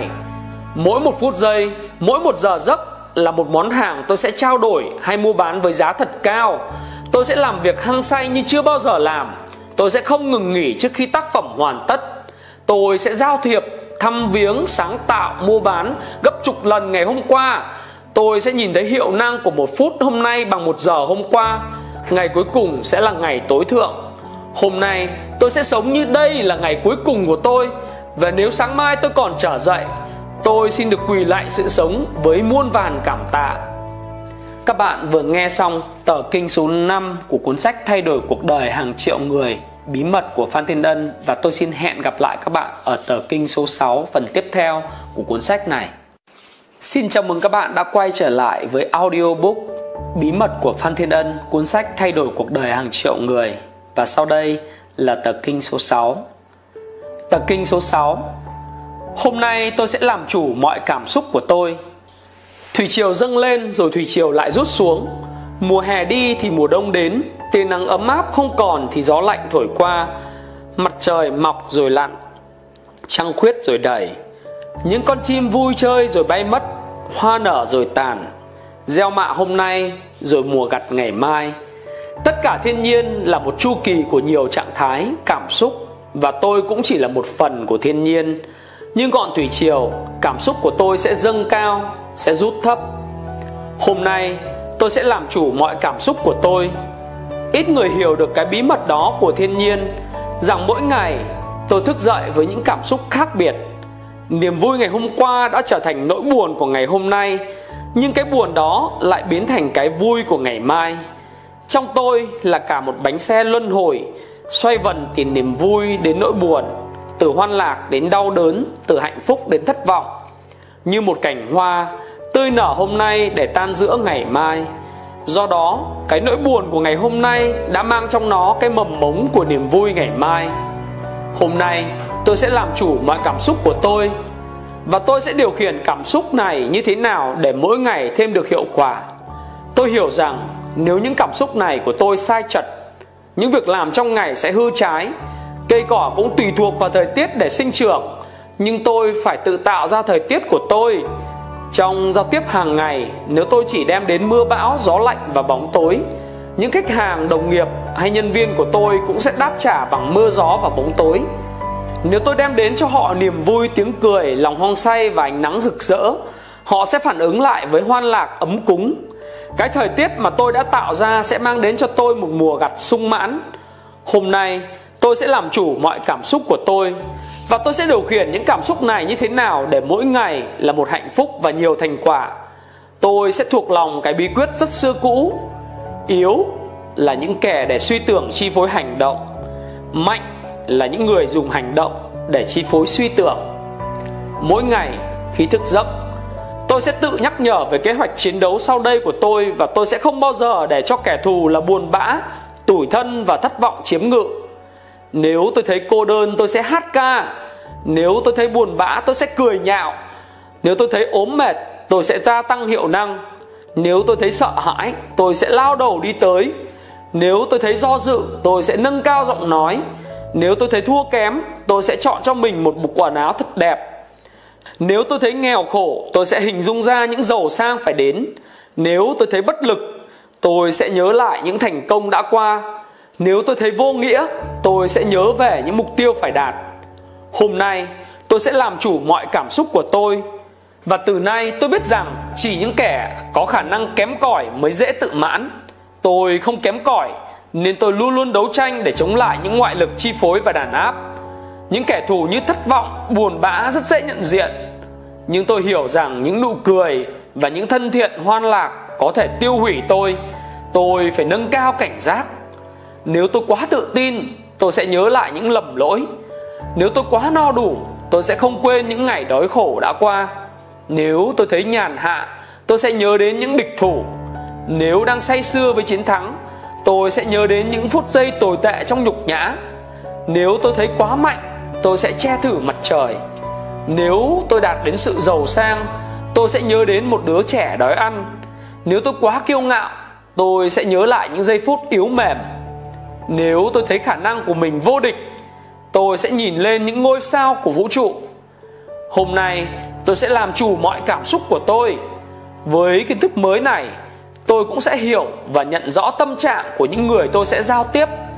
Tôi sẽ rộng lượng với những cơn giận và khó chịu của tha nhân, bởi vì tôi hiểu họ chưa nắm được cái bí quyết điều khiển các cảm xúc của họ.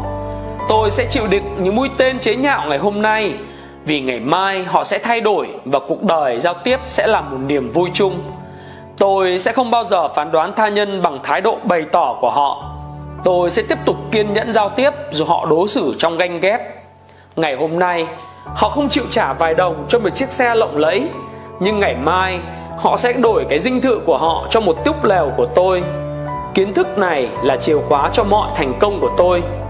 Hôm nay, tôi sẽ làm chủ mọi cảm xúc của tôi từ nay tôi sẽ nhận rõ mọi khúc mắc về thái độ của mọi tha nhân tôi sẽ giao tiếp, cũng như thái độ của riêng tôi. Tôi sẽ sẵn sàng đương đầu và điều khiển mọi thái độ, dù tốt hay xấu ra sao, mỗi ngày thức giấc. Tôi sẽ làm chủ những thái độ này bằng những hành động tích cực, và khi tôi làm chủ chúng, tôi sẽ làm chủ định mệnh đời tôi. Hôm nay tôi sẽ làm chủ định mệnh đời tôi, và định mệnh tôi là trở thành một người giàu nhất thế giới. Tôi sẽ làm chủ tôi tôi sẽ là một vĩ nhân. Các bạn vừa nghe xong tập kinh số 6 của cuốn sách Thay đổi cuộc đời hàng triệu con người, Bí mật của Phan Thiên Ân. Và tôi nghĩ cuốn sách cũng sẽ thay đổi cuộc đời của bạn. Và xin hẹn gặp lại các bạn ở tờ kinh số 7 của cuốn sách. Xin chào mừng các bạn đã quay trở lại cuốn sách Bí mật của Phan Thiên Ân audiobook với giọng đọc của Thái Phạm. Và đây là cuốn sách đã thay đổi cuộc đời của hàng triệu người. Cuốn sách này cũng sẽ thay đổi cuộc đời của các bạn nếu các bạn thực hành theo đúng tờ kinh và 10 tờ kinh trong cuốn sách. Tờ kinh số 7 Tôi sẽ cười với thế gian. Không một sinh vật nào trên trái đất này có thể cười, ngoại trừ con người. Cây cối có thể chảy mủ khi bị chặt. Thú vật có thể la khóc khi bị thương tích.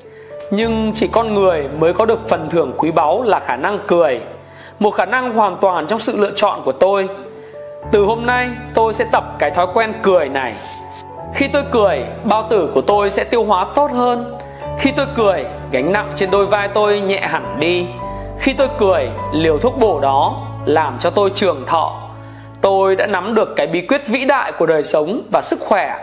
Tôi sẽ cười với thế gian. Và trên hết, tôi sẽ cười với tôi. Vì không có gì lố bịch hơn khi con người tự coi mình quá quan trọng tôi sẽ không rơi vào cạm bẫy này của trí óc. Bởi vì dù tôi là một phép lạ nhiệm màu của thiên nhiên, tôi vẫn chỉ là một hạt cát quay cuồng trong gió bão của thời gian.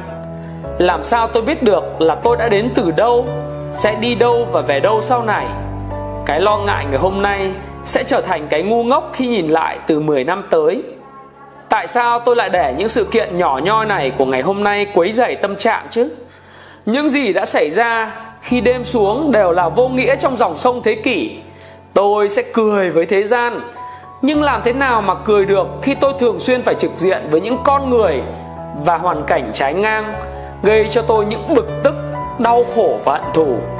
Bốn chữ tôi sẽ tập luyện cho tôi nằm lòng. Bốn chữ sẽ trở thành một thói quen thật mạnh mẽ. Bốn chữ sẽ xuất hiện tự động khi tôi cảm thấy không cười được nữa. Bốn chữ này đã ra khỏi những trở ngại hiểm nguy và giữ đời tôi trong thăng bằng trật tự. Bốn chữ đó là, rồi cũng qua đi, tôi sẽ cười với thế gian, bởi vì tất cả những vật sở hữu con người thâu nhập rồi cũng qua đi. Khi trái tim tôi nặng chịu với nỗi buồn, tôi sẽ an ủi tôi là rồi cũng sẽ qua đi. Khi tôi say men thành công, tôi sẽ cảnh giác tôi là việc này rồi cũng qua đi. Khi tôi nghèo đói, tôi tự nhủ, hoàn cảnh này rồi cũng qua đi khi tôi giàu sang, tôi sẽ tự hiểu là cảnh sống này rồi cũng qua đi. Cứ nhìn lại những bậc đế vương đã xây những kim tự tháp vĩ đại, cuối cùng rồi họ cũng qua đi, nằm yên dưới lòng mồ sâu kín.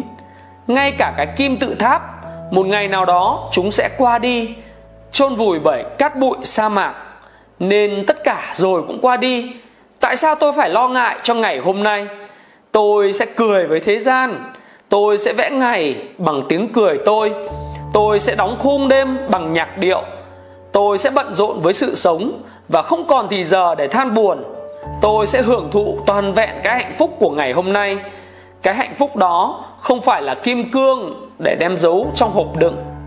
Nó không phải là rượu ngọt để có thể chứa trong một cái chai. Nó không thể để dành lại cho ngày mai. Cái hạnh phúc đó phải được gieo trồng và gặt hái trong giây phút này và tôi luôn nhớ kỹ điều đó. Tôi sẽ cười với thế gian. Và với tiếng cười, mọi sự vật sẽ trở về đúng vị trí và tầm vóc của chúng. Tôi sẽ cười nhạo những thất bại của tôi, và chúng sẽ biến mất trong đám mây của những giấc vọng mới. Tôi sẽ cười nhạo những thành công của tôi, và chúng sẽ tự bôi xóa cái tự mãn tôi đã đặt để. Tôi sẽ cười với gian ác, và chúng sẽ xấu hổ. Tôi sẽ cười với thiện tâm, và chúng sẽ sinh sôi nảy nở mỗi ngày là một chiến thắng khi tiếng cười của tôi hòa đồng và được đáp lại bằng tiếng cười của tha nhân. Làm sao tôi thành công được trong những giao dịch thương mại? Nếu tôi chỉ làm những khách hàng của tôi khó chịu, tôi sẽ cười với thế gian. Từ nay, tôi chỉ khóc những giọt lệ vui mừng, bởi vì những buồn bã, hối tiếc và bực bội không có bất cứ một giá trị nào trên thương trường. Chỉ những nụ cười mới trao đổi được với bạc vàng và những lời nói dịu ngọt từ tận đáy tim mới có thể xây được lâu đài. Tôi sẽ không bao giờ nghĩ tôi là quá quan trọng, quá khôn ngoan, quá nhiều quyền lực mà quên đi cái thói quen cười đùa tôi và với thế gian. Tôi sẽ luôn luôn giữ tâm hồn của một đứa trẻ thơ, bởi chỉ vì đứa trẻ nhỏ mới biết nhìn lên phía trên. Khi tôi còn biết nhìn lên phía trên, tôi còn khả năng tăng trưởng. Tôi sẽ cười với thế gian và tôi biết cười tôi sẽ không bao giờ nghèo khó. Cái tặng phẩm quý báu này là một tặng phẩm tôi luôn luôn phải kính cẩn, giữ gìn. Tôi chỉ thực sự thành công khi tôi có hạnh phúc và có tiếng cười. Bởi vì tiếng cười cho tôi hưởng thụ trọn vẹn cái hạnh phúc. Tiếng cười là chìa khóa của hạnh phúc. Như ly rượu ngọt sẽ làm đậm đà hương vị của bữa cơm. Tôi sẽ cười. Tôi sẽ hạnh phúc. Tôi sẽ thành công. Và tôi sẽ là người giàu nhất thế giới các bạn vừa nghe xong tờ kinh số 7 của cuốn sách Bí mật của Phan Thiên Ân. Cuốn sách này đã thay đổi cuộc đời của hàng triệu người và tôi tin chắc cuốn sách này cũng sẽ thay đổi cuộc đời của bạn. Và tôi xin chúc bạn thành công. Hẹn gặp lại các bạn trong tờ kinh số 8 của audiobook Bí mật của Phan Thiên Ân. Xin hân hoan chào mừng các bạn đã đến với cuốn sách Bí mật của Phan Thiên Ân và tờ kinh số 8 Cuốn sách này đã thay đổi cuộc đời của hàng triệu người và tôi tin rằng cuốn sách cũng sẽ thay đổi cuộc đời của bạn. Và tờ kinh số 8 với giọng đọc của Thái Phạm sẽ mang lại cho bạn một trải nghiệm rất thú vị và tôi hy vọng bạn sẽ thích tờ kinh này và thực hành theo nó. Tờ kinh số 8 Hôm nay, tôi sẽ gia tăng giá trị của con người tôi gấp trăm lần. Một chiếc lá tơ hèn mọn nhờ cái biến chế màu nhiệm của con sâu mà trở thành tơ lụa, một đống bùn lầy nhờ cái sáng tạo kỳ diệu của con người mà trở thành một lâu đài, một thân cây cằn cỗi nhờ cái tài năng diễm ảo của người nghệ nhân mà trở thành một tác phẩm nghệ thuật, một mảnh lông cừu nhờ cái khả năng cắt xén của người thợ giỏi mà trở thành một bộ quần áo quý phái. Nếu một cái lá, một đống bùn, một miếng gỗ, một chùm lông có thể gia tăng giá trị của chúng gấp trăm lần hay cả ngàn lần. Thì tại sao tôi không thể biến tạo cái hạt cát, cái nguyên tử mang tên tôi trở thành một giá trị vĩ đại? Hôm nay, tôi sẽ gia tăng giá trị của con người tôi gấp trăm lần. Tôi giống như một hạt thóc, phải đối diện với ba hướng tương lai. Hạt thóc có thể được chứa vào kho rồi một ngày nào đó sẽ xay nấu thành đồ ăn cho gia súc. Hay hạt thóc có thể xay thành gạo, rồi bột, rồi làm những chiếc bánh ngon ngọt. Hay nó có thể được ươm, nảy mầm, rồi cấy thành trăm ngàn hạt giống khác, giải rác trên suốt cánh đồng thơm lừng những nhành lúa mới. Tôi giống như một hạt thóc với một điều khác biệt. Hạt thóc không thể lựa chọn tương lai cho nó. Nó không biết là sẽ trở thành đồ ăn cho gia súc, thành bột cho một chiếc bánh ngọt, hay thành giống cho ngàn cây lúa tôi có sự lựa chọn đó. Và tôi tự hứa, tôi sẽ không để ai vất đời tôi cho bọn gia súc hay nghiền nát đời tôi thành bột cám. Mặc cho những tảng đá ngàn cân của thất vọng và thua lỗ đè nặng, tôi sẽ không bao giờ vỡ tan những những hạt thóc và chịu xếp đặt bởi hành động của người khác. Hôm nay, tôi sẽ gia tăng giá trị của con người tôi gấp trăm lần để tăng trưởng và sinh nở. Hạt thóc phải được chôn vùi dưới bóng tối sâu trong lòng đất những thất bại, lỗi lầm, ngu xuẩn và bất lực của tôi cũng là một loại bóng tối mà tôi phải chịu đựng để có thể tăng trưởng và sinh nở. Rồi một ngày như hạt thóc sẽ vươn cao những mạ xanh và những chùm hoa gạo, dưới sự ấp ủ của nắng, của mưa, của gió, tôi cũng sẽ ấp ủ thân thể tôi, trí óc tôi để hoàn thành những mộng tưởng. Để tăng trưởng toàn vẹn, hạt thóc còn tùy thuộc vào sự nâng đỡ của thời tiết nhưng tôi thì hoàn toàn tự do trong cái lựa chọn về thời tiết của tôi. Hôm nay, tôi sẽ gia tăng giá trị con người của tôi gấp trăm lần và tôi sẽ làm sao để đạt được ý nguyện này. Trước hết, tôi sẽ đặt tôi những mục tiêu phải đạt trong một ngày, trong một tuần, trong một tháng, trong một năm và cả một đời. Giống như hạt mưa phải tưới mát để hạt giống nảy mầm, tôi phải có mục tiêu định sẵn của đời tôi trước khi tăng trưởng khi đặt ra mục tiêu, tôi sẽ lấy những thành quả tốt đẹp nhất từ quá khứ làm tiêu chuẩn, rồi nhân nó lên cả trăm lần. Cái mục tiêu này sẽ trở thành tiêu chuẩn của đời tôi trong tương lai. Tôi sẽ không quản ngại rằng mục tiêu của tôi quá cao, vì giống những người kỵ binh, tôi thà là hướng mục tiêu của tôi về phía mặt trăng để bắn được một con đại bàng, còn hơn là nhắm con đại bàng rồi bắn một bụi cây hôm nay, tôi sẽ gia tăng giá trị con người của tôi gấp trăm lần. Tôi sẽ không sợ hãi về độ cao của mục tiêu, dù rằng tôi sẽ vấp ngã nhiều lần trước khi tới đích. Khi vấp ngã, tôi sẽ đứng dậy ngay, vì tôi hiểu rằng không một cao nhân nào mà không vấp ngã nhiều lần trong đời họ. Chỉ có một con sâu mới không vấp ngã. Tôi không phải là con sâu, tôi không phải là ngọn cỏ. Tôi không phải là một con cừu, tôi là một người đúng nghĩa có những kẻ chỉ dựng nổi một cái hang với đống bùn của họ. Tôi sẽ xây dựng một tòa lâu đài. Hôm nay, tôi sẽ gia tăng giá trị con người của tôi gấp trăm lần. Như mặt trời phải sưởi ấm trái đất để hạt lúa đâm chồi. Những lời kinh này tôi sẽ đọc hàng ngày để sưởi ấm giấc mộng của tôi và biến chúng trở thành thực tại. Hôm nay, tôi sẽ vượt mức thành quả mà tôi đã đạt được ngày hôm qua.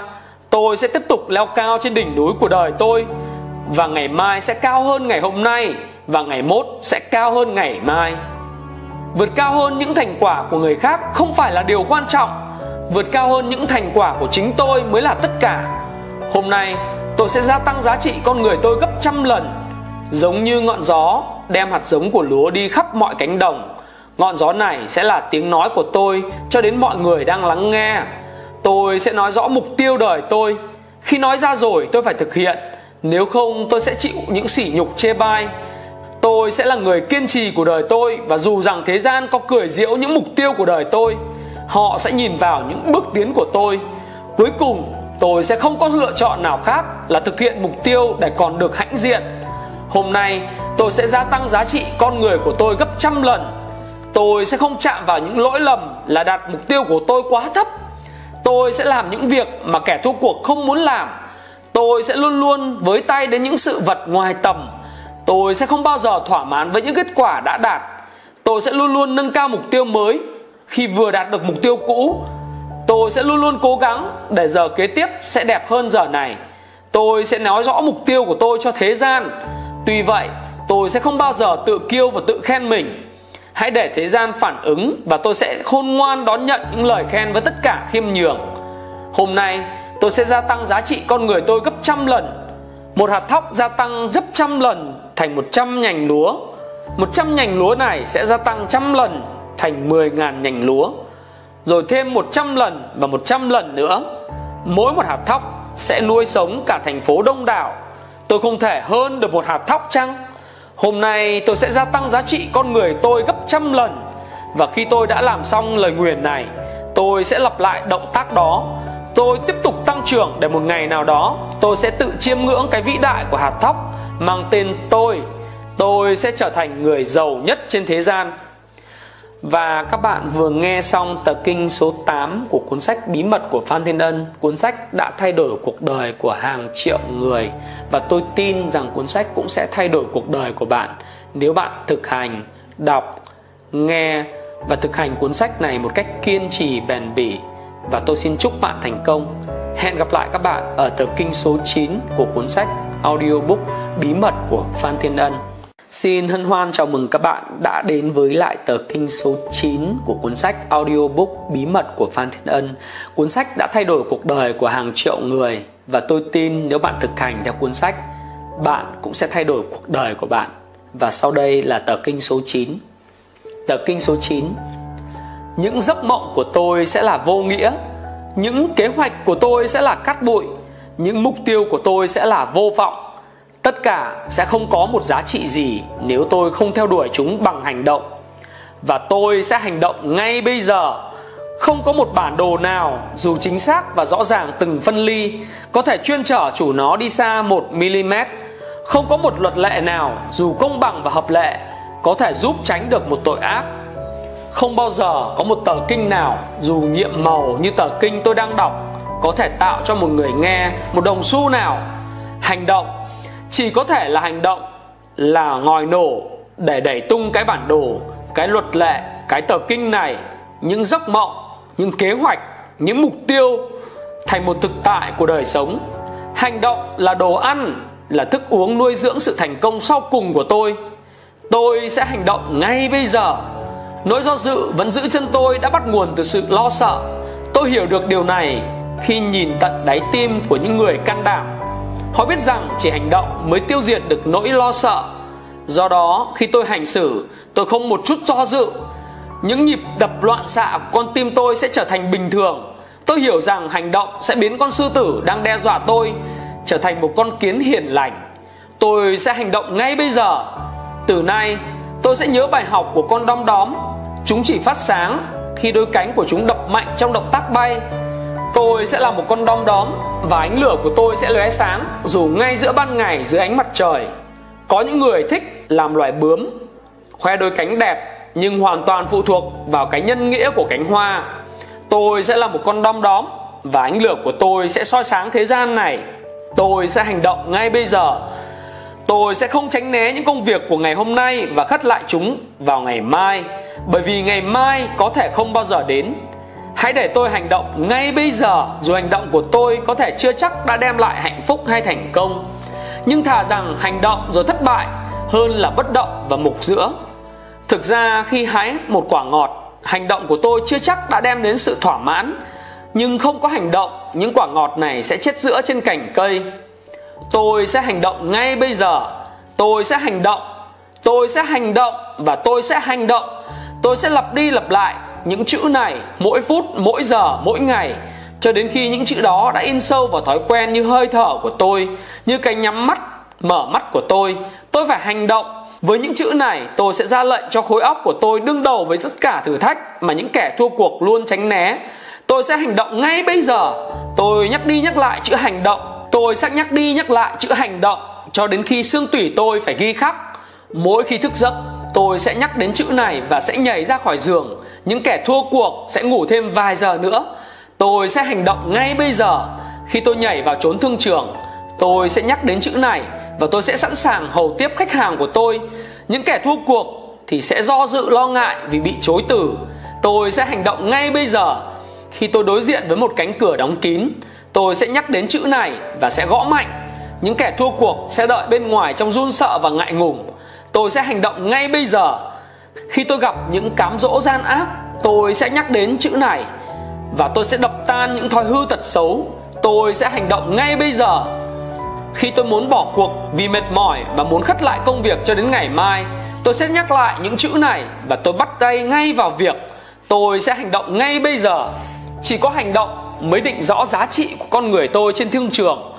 Và muốn tăng cái giá trị này, tôi phải gia tăng cái hành động của tôi.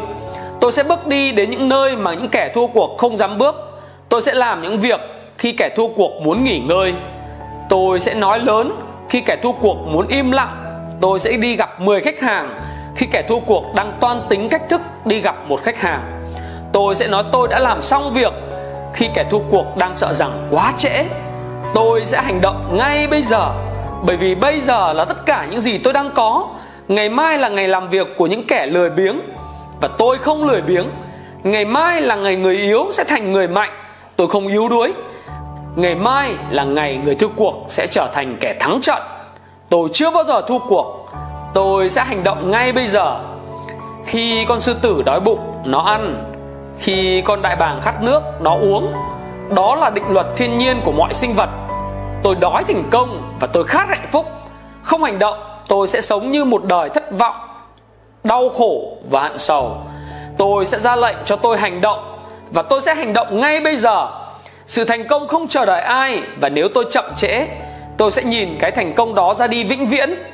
Đây là giờ phút, đây là nơi trốn, đây là con người tôi và tôi sẽ hành động ngay bây giờ và các bạn vừa nghe xong tập kinh số 9 của cuốn sách audiobook Bí mật của Phan Thiên Ân. Cuốn sách đã thay đổi cuộc đời hàng triệu người và tôi tin rằng nó cũng sẽ thay đổi cuộc đời của các bạn. Thái Phạm, xin cảm ơn các bạn đã lắng nghe tập kinh số 9 của cuốn sách Bí mật của Phan Thiên Ân và xin hẹn gặp lại các bạn ở tập kinh số 10 của cuốn sách với giọng đọc của Thái Phạm. Xin hân hoan chào đón các bạn đến với audiobook cuốn sách Bí mật của Phan Thiên Ân Cuốn sách đã thay đổi cuộc đời hàng triệu con người và tôi tin, Thái Phạm tin rằng cuốn sách sẽ thay đổi cuộc đời của các bạn nếu các bạn đọc, nghe và thực hành theo cuốn sách và 10 tờ kinh của cuốn sách. Sau đây là tờ kinh số 10. tờ kinh số 10 Khi đối diện với một thảm kịch tang thương hay một tai họa hiểm nghèo Ai mà không hướng lời van xin về một đấng tối cao Ai mà không cầu nguyện khi bị vây hãm với thần chết, Vì bệnh hiểm, với những huyền bí ngoài sự hiểu biết của con người. Cái trực giác sâu kín này đã đến từ đâu Mà mỗi con người hay thú vật đều phải dùng đến trong những giờ phút hiểm nguy? Mắt chúng ta sẽ tự động chớp khi có một bàn tay đưa ngang, Chân cảm chúng ta sẽ tự động giật khi có ai đó gõ vào đầu gối. Đe dọa một người nào bằng cái hù bất chợt, Miệng hắn sẽ tự động nói, Trời ơi cái trực giác tự động này từ đâu tới? Dù tôi không phải là một con chiên Hay một tín đồ rất ngoan đạo Tôi cũng nhận thức được cái huyền diệu cao cả này của thiên nhiên. Tất cả mọi sinh vật trên trái đất này Kể cả con người Đều chia chung các trực giác về sự cầu nguyện. Và lời cầu nguyện chỉ là một lời van xin lớn tiếng Về một đấng tối cao. Khi thiên nhiên đã ban cho con lửa, con chim con người khả năng và trực giác để cất cao lời van xin thiên nhiên cũng đã dự trù là những lời van xin này đang được lắng nghe bởi một quyền lực cao lớn hơn mọi sinh vật và đủ quyền sức để đáp ứng những lời van xin đó. Ngày hôm nay, tôi sẽ cầu nguyện, tôi sẽ van xin. Nhưng lời cầu nguyện của tôi không bao giờ là van xin để được giúp đỡ, mà van xin để được hướng dẫn. Tôi sẽ không bao giờ cầu nguyện để tìm kiếm những vật chất tư hữu cho tôi. Tôi không xin cho tôi là xung quanh tôi nhiều người hầu kẻ hạ Lo từng miếng ăn thức uống. Tôi không xin những căn nhà trắng lệ với đầy đủ tiện nghi. Tôi sẽ không bao giờ nghĩ là những lời nguyện cầu của tôi sẽ mang đến tiền bạc, tình yêu, danh vọng, chiến thắng, thành công hay hạnh phúc. Tôi chỉ xin cho có được sự hướng dẫn để cho tôi thấy được phương thức, đường lối để tạo dựng những thành quả. Và như thế lời cầu nguyện của tôi sẽ luôn luôn được đáp ứng. Sự hướng dẫn mà tôi tìm kiếm có thể sẽ đến hay có thể không đến nhưng cả hai trường hợp, tôi đều đã được trả lời. Nếu đứa bé xin cha nó một miếng bánh mà không được, người cha cũng đã trả lời cho nó rồi. Lời cầu nguyện của tôi sẽ như sau. Đứng tối cao, xin ngài hãy giúp đỡ con. Mỗi ngày con bước ra ngoài thế gian, con thấy rất cô đơn và yếu đuối. Không có sự hướng dẫn của ngài, con sợ con sẽ lạc lối và xa dần những đường cho con đi tìm được hạnh phúc và thành công con không xin ngài vàng bạc châu báu hay những cơ hội nằm trong khả năng của con. Con chỉ xin ngài hướng dẫn cách thức để con gây dựng được khả năng để nắm lấy những cơ hội. Ngài đã dạy con sư tử cách thức săn mồi để sinh tồn bằng bản năng. Xin hãy dạy con cách thức sinh tồn và thịnh vượng trong tình yêu để con hãnh diện là một con sư tử trên thương trường. Hãy giúp cho con tìm được sự khiêm tốn bằng trở ngại và thất vọng, nhưng cũng giúp cho con thấy cái huy hoàng của chiến thắng hãy trao cho con những công việc mà nhiều người đã không làm được. Nhưng dạy con cách thức gạn lọc những kinh nghiệm thất bại của họ để con có thể thành công. Thử thách con với những tai họa để tâm hồn con được rèn luyện. Nhưng nhớ cho con cái đảm lược để cười trước những lỗi lầm.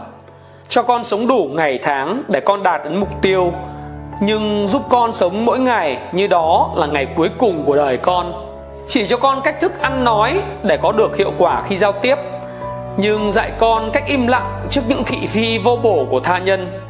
Dạy con cái kỷ luật với thói quen không bao giờ bỏ cuộc, nhưng cũng cho con thấy tất cả đều có một tỷ lệ xác suất là tỷ lệ trung bình. Cho con cái trực giác bén nhạy để nhận diện những cơ hội, nhưng nhớ dạy con cái kiên nhẫn để tập trung năng lực. Dạy con cái cách thức để tạo cho mình rất nhiều thói quen tốt để bớt dần những thói quen xấu, nhưng nhớ cho con lòng hỉ xả để thông cảm với cái yếu đuối của tha nhân. Dạy con cái bài học về đau khổ, để con hiểu rằng mọi sự rồi cũng qua đi, nhưng cho con cái hạnh phúc ngồi đếm những ân lộc mỗi ngày. Để con trực diện với hạn thù, để con không ngu dốt về thực tại, nhưng cho lòng con lúc nào cũng đầy tình yêu để biến kẻ thù, thành bạn bè. Nhưng tất cả mọi sự đều là do ý ngài. Con chỉ là một quả nho nhỏ bé và cô đơn bám víu vào cái cảnh khẳng khiu gọi là đời sống. Nhưng ngài đã sáng tạo con thành một hiện hữu độc đáo. Như vậy chắc ngài đã dành cho con một con đường đặc biệt. Xin hướng dẫn con xin giúp con cho con tìm thấy con đường của mình cho con trở thành toàn vẹn cái con người mà đã dự định ngài ban tặng cho con trong đời sống này. Cái hạt giống mà người đã ươm trồng là con Xin được tăng trưởng để trở thành một loài hoa quả như ý muốn của Ngài, giúp cho con trở thành một con người đúng nghĩa. Và các bạn đã vừa nghe tờ kinh số 10 của cuốn sách Bí mật của Phan Thiên Ân. Và tờ kinh số 10 này thực sự là một tờ kinh rất là ý nghĩa. Cuốn sách audiobook Bí mật của Phan Thiên Ân cũng như cuốn sách giấy Bí mật của Phan Thiên Ân là cuốn sách đã thay đổi cuộc đời cả triệu người và Thái Phạm tin rằng cuốn sách cũng sẽ thay đổi cuộc đời của bạn nếu bạn đọc, nghe, học và thực hành theo cuốn sách. Và Thái Phạm xin hẹn gặp lại các bạn ở phần thứ ba chương cuối của cuốn sách Bí mật của Phan Thiên Ân.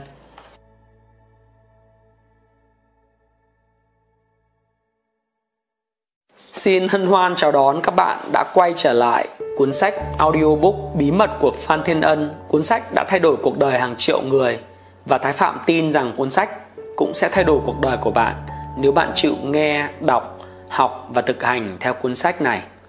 Sau đây là phần thứ ba, chương cuối của cuốn sách. Mong các bạn thưởng thức. Phần thứ ba, chương cuối. Thời gian trôi qua thật lẹ, Thế mà đã 3 năm kể từ ngày Thiên Ân giải thể toàn bộ đế quốc thương mại khắp Nam Châu, trở về với cuộc sống thầm lặng cô đơn trong tòa nhà vĩ đại ở đảo Maui. Cuối cùng với người bạn già Alan Chapman, Thiên Ân nhìn ngày tháng tiếp nối ra đi, đợi chờ. Thiên Ân đợi chờ một dấu hiệu siêu hình, một con người sẽ được lựa chọn để tiếp nhận những tờ kinh, để tiếp tục sự nghiệp doanh thương, mong là sẽ lớn mạnh gấp trăm lần cái đế quốc mà Thiên Ân vừa giải tán. Nhưng càng ngày Thiên Ân càng thấy cái vô vọng của sự chờ đợi. Vì tuổi tác đã cao Ông không còn vận động cơ thể được nhiều. Đọc sách, coi phim, nghe nhạc Ngồi thiền suốt 3 năm Thân thể của ông bắt đầu bạc nhược. Những người tìm đến với ông phần lớn là những bạn hữu, bà con Tuổi cũng sắp xỉ như ông Và lại họ đến là để mong giúp đỡ về tiền bạc Vài câu giới thiệu cho công ăn việc làm Ông nghĩ là khó mà tìm ra một người đúng như tiền định để trao tặng bộ kinh. Cho nên sáng nay ông đã quyết định, ông nói với Chapman, bạn già thân yêu, tôi cảm thấy như mình đang phí phạm cái tài sản cuối cùng còn lại, đó là thời gian. Dù mình không tiêu xài, nó cũng ra đi vùn vụt. Có lẽ mình phải đến với người mà mình mong đợi, thay vì chỉ biết đợi chờ.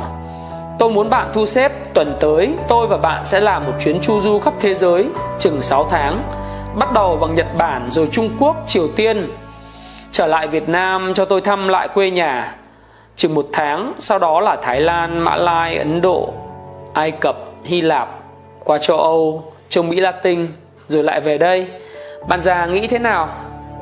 Thưa ngài, tôi không dám nói ra, Nhưng tôi vẫn lo ngại cái buồn chán của ngài sau bao năm vung tay bốn biển.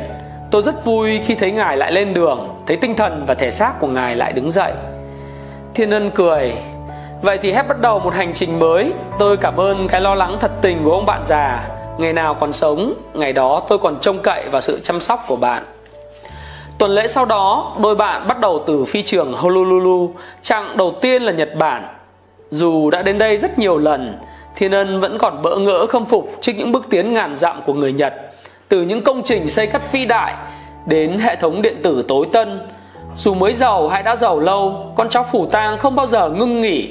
Không ngộ nào như người châu mỹ, họ tiến bộ và tiến bộ trong âm thầm. Cái tinh thần võ sĩ đạo nữa, lúc nào cũng tiềm năng trong cách thức làm ăn của họ. Qua đến hán thành thiên ân chỉ cho chapman cái bí quyết thành công của người triều tiên họ làm việc không mỏi mệt có lẽ là nhờ nhân sâm đây là những người độc nhất trên thế giới chê dân Nhật lười biếng. Đối với họ, 12 giờ làm việc mỗi ngày là làm việc kiểu công chức. Giờ Triều Tiên, đôi bạn bay qua Trung Quốc, thủ đô Bắc Kinh đổi khác với nhiều năm. Sau 7 năm lần cuối Thiên Ân ghé thăm, ngoài dân Việt, Thiên Ân vẫn luôn luôn thấy gần gũi với người Tàu. Văn hóa và phong tục của hai xứ không cách xa bao nhiêu. Cái suy nghĩ của người Tàu cũng là điều dễ thông cảm sau bao nhiêu năm chiến tranh và nghèo khổ, dân tàu nay mới được hưởng chút thịnh vượng do Thái Bình đem lại. Dù họ còn rất nhiều khó khăn và trở ngại, dường như họ đang bắt đầu chương sử mới cho quốc gia. Bao nhiêu là bạn bè, đồng nghiệp phải đi thăm từ Thượng Hải xuống Quảng Châu, Vân Nam. Thiên Ân xúc cảm trước những đón tiếp đầy yêu thương và đồng nhiệt. Thế nhưng cái dương có những tờ kinh mà Thiên Ân và Chapman khệ nệ mang theo để trao tặng Vẫn nằm trình hình trong những căn phòng ngủ. Hơn một tháng lộ trình, Dù luôn luôn để ý tìm kiếm, Thiên Ân vẫn không sao tìm được cái con người mà định mệnh sẽ chọn lựa để tiếp nối sự nghiệp. Từ Quảng Châu, đôi bạn đáp xuống sân bay ở nội bài, Hà Nội. Hơn 40 năm, Thiên Ân mới có dịp quay trở lại quê hương.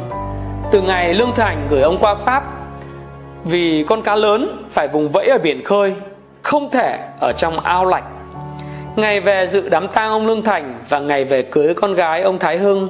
Sau đó, ông miệt mài khắp Nam Châu, Nhưng không có cơ hội để làm ăn ở Việt Nam. Thực ra, có lẽ ông không muốn Đem cái sở trường sở đoàn của mình Để canh đua với người ngoại quốc vẫn hào hứng hơn Ông tự nhủ. Đêm đầu tiên trở lại quê hương, Lòng ông bồi hồi, Ông không ngủ được. Ông tắt máy lạnh mở cánh cửa sổ Để không khí ẩm thấp của đêm mùa hè xâm nhập nhưng tiếng động ồn ào rất Việt Nam cũng đánh thức cái tâm trí kỷ niệm và tình cảm xa cũ. Ông ngồi bất động, thả hồn bay cao theo trăm ngàn ý nghĩ và xúc cảm. Quê hương vẫn là một gắn bó ngọt ngào. Ông thiếp đi được một chút trong chiếc ghế bành. Khi chợt tỉnh thì trời đã mở sáng. Có lẽ tại những chiếc xe máy bắt đầu ồn ào, ông thấy bụng đói cồn cào Ông chợt nhớ là tối qua ông không ăn vì muốn giữ thân thể quân bình sau bao ngày yến tiệc ở bên tàu. Ông thay đồ xuống nhà, tự nhiên ông thèm một tô phở thật nóng. Ông không muốn ăn thêm một đĩa bánh mì trứng ở khách sạn. Rời Metropo, ông thong thả đi dạo xuống hướng Hồ Hoàn Kiếm để tìm một tiệm phở. Không khí buổi sáng chưa bị bụi khói của trăm ngàn chiếc xe máy làm ô nhiễm. Ông hít thở trong sự thanh bình toàn diện. Mải mê suy nghĩ, ông đi lạc vào một con đường nhỏ không nhớ tên, cũ và nghèo, chật hẹp và dơ dáy. Những căn nhà hai bên còn kín cửa, miệt mài trong giấc ngủ. Càng đi sâu, ông càng mất phương hướng. Cuối ngõ, ông thấy một ngọn đèn hắt ra và cánh cửa mở hé. Ông gõ nhẹ, hy vọng tìm được đường trở lại khách sạn hay trở ra một con đường lớn hơn. Một người trung niên, đen đúa và gầy ốm mở rộng Thưa cụ, cụ hỏi ai? Giọng nói có vẻ ngạc nhiên vì còn quá sớm. Thiên Ân nhìn qua căn phòng nhỏ hẹp bày biện bừa bãi. Giữa phòng là một cái máy in nhỏ đang chạy Giấy mực tung tóe khắp nơi. Xin lỗi tôi bị lạc. Tôi muốn tìm đường trở lại khách sạn Metropole Thấy cửa mở tôi gõ. Các đàn ông nhìn kỹ Thiên Ân Nét mặt quắc thước Bộ quần áo đúng thời trang Rất đắt tiền Lại ở khách sạn Metropole qua bao nhiêu giải đổi, nơi đây vẫn là chỗ lui tới của những tên ngoại quốc nhiều tiền và nhiều quyền. Từ thời Pháp thuộc, thời chiến tranh cho đến ngày nay, gã đổi giọng đầy kính nể và sân sóc. Thưa cụ, để con mặc cái áo vào rồi dẫn cụ về khách sạn. Không dám làm phiền anh, anh chỉ cho tôi ra con đường cái. Tôi đón taxi hay xích lô gì cũng được. Và lại anh đang sáng hay làm việc phải không? Tôi đi tìm tiệm phở rồi đi lạc Thưa cụ, còn sớm. Mấy đứa con của con nó lo dùm cũng được. Gã đàn ông giọng khẩn khoản mời mọc. Nếu cụ cần thì con sẽ hứa đưa cụ ra tiệm phở gần đây, Nổi danh ở Hà Nội. Rồi hắn thăm hỏi. Xin lỗi à, cụ từ đâu tới? Tôi ở Mỹ về thăm quê hương. Ở đây chừng một tuần rồi đi tiếp. Câu chuyện kéo dài, Thiên Ân nói qua về đời sống công việc của ông rồi hai người vừa đi bộ ra tiệm phở vừa nói chuyện. Tên gã đàn ông là Văn Khắp. Hắn giải thích ra phiên âm tiếng Việt là tên Lào Suban Văn Khẹt. Hắn từ Park Sê. Cha mẹ gửi qua đây học từ nhỏ lúc mới 4 tuổi. Park Sê? Ừ, Thiên Ân gật gù. Một trang sách của quá khứ Chuyến buôn hàng đầu tiên. Anh ở ngay tại tỉnh Lĩ. Không thưa cụ con ở một làng nhỏ gần đó bản Chu Prong.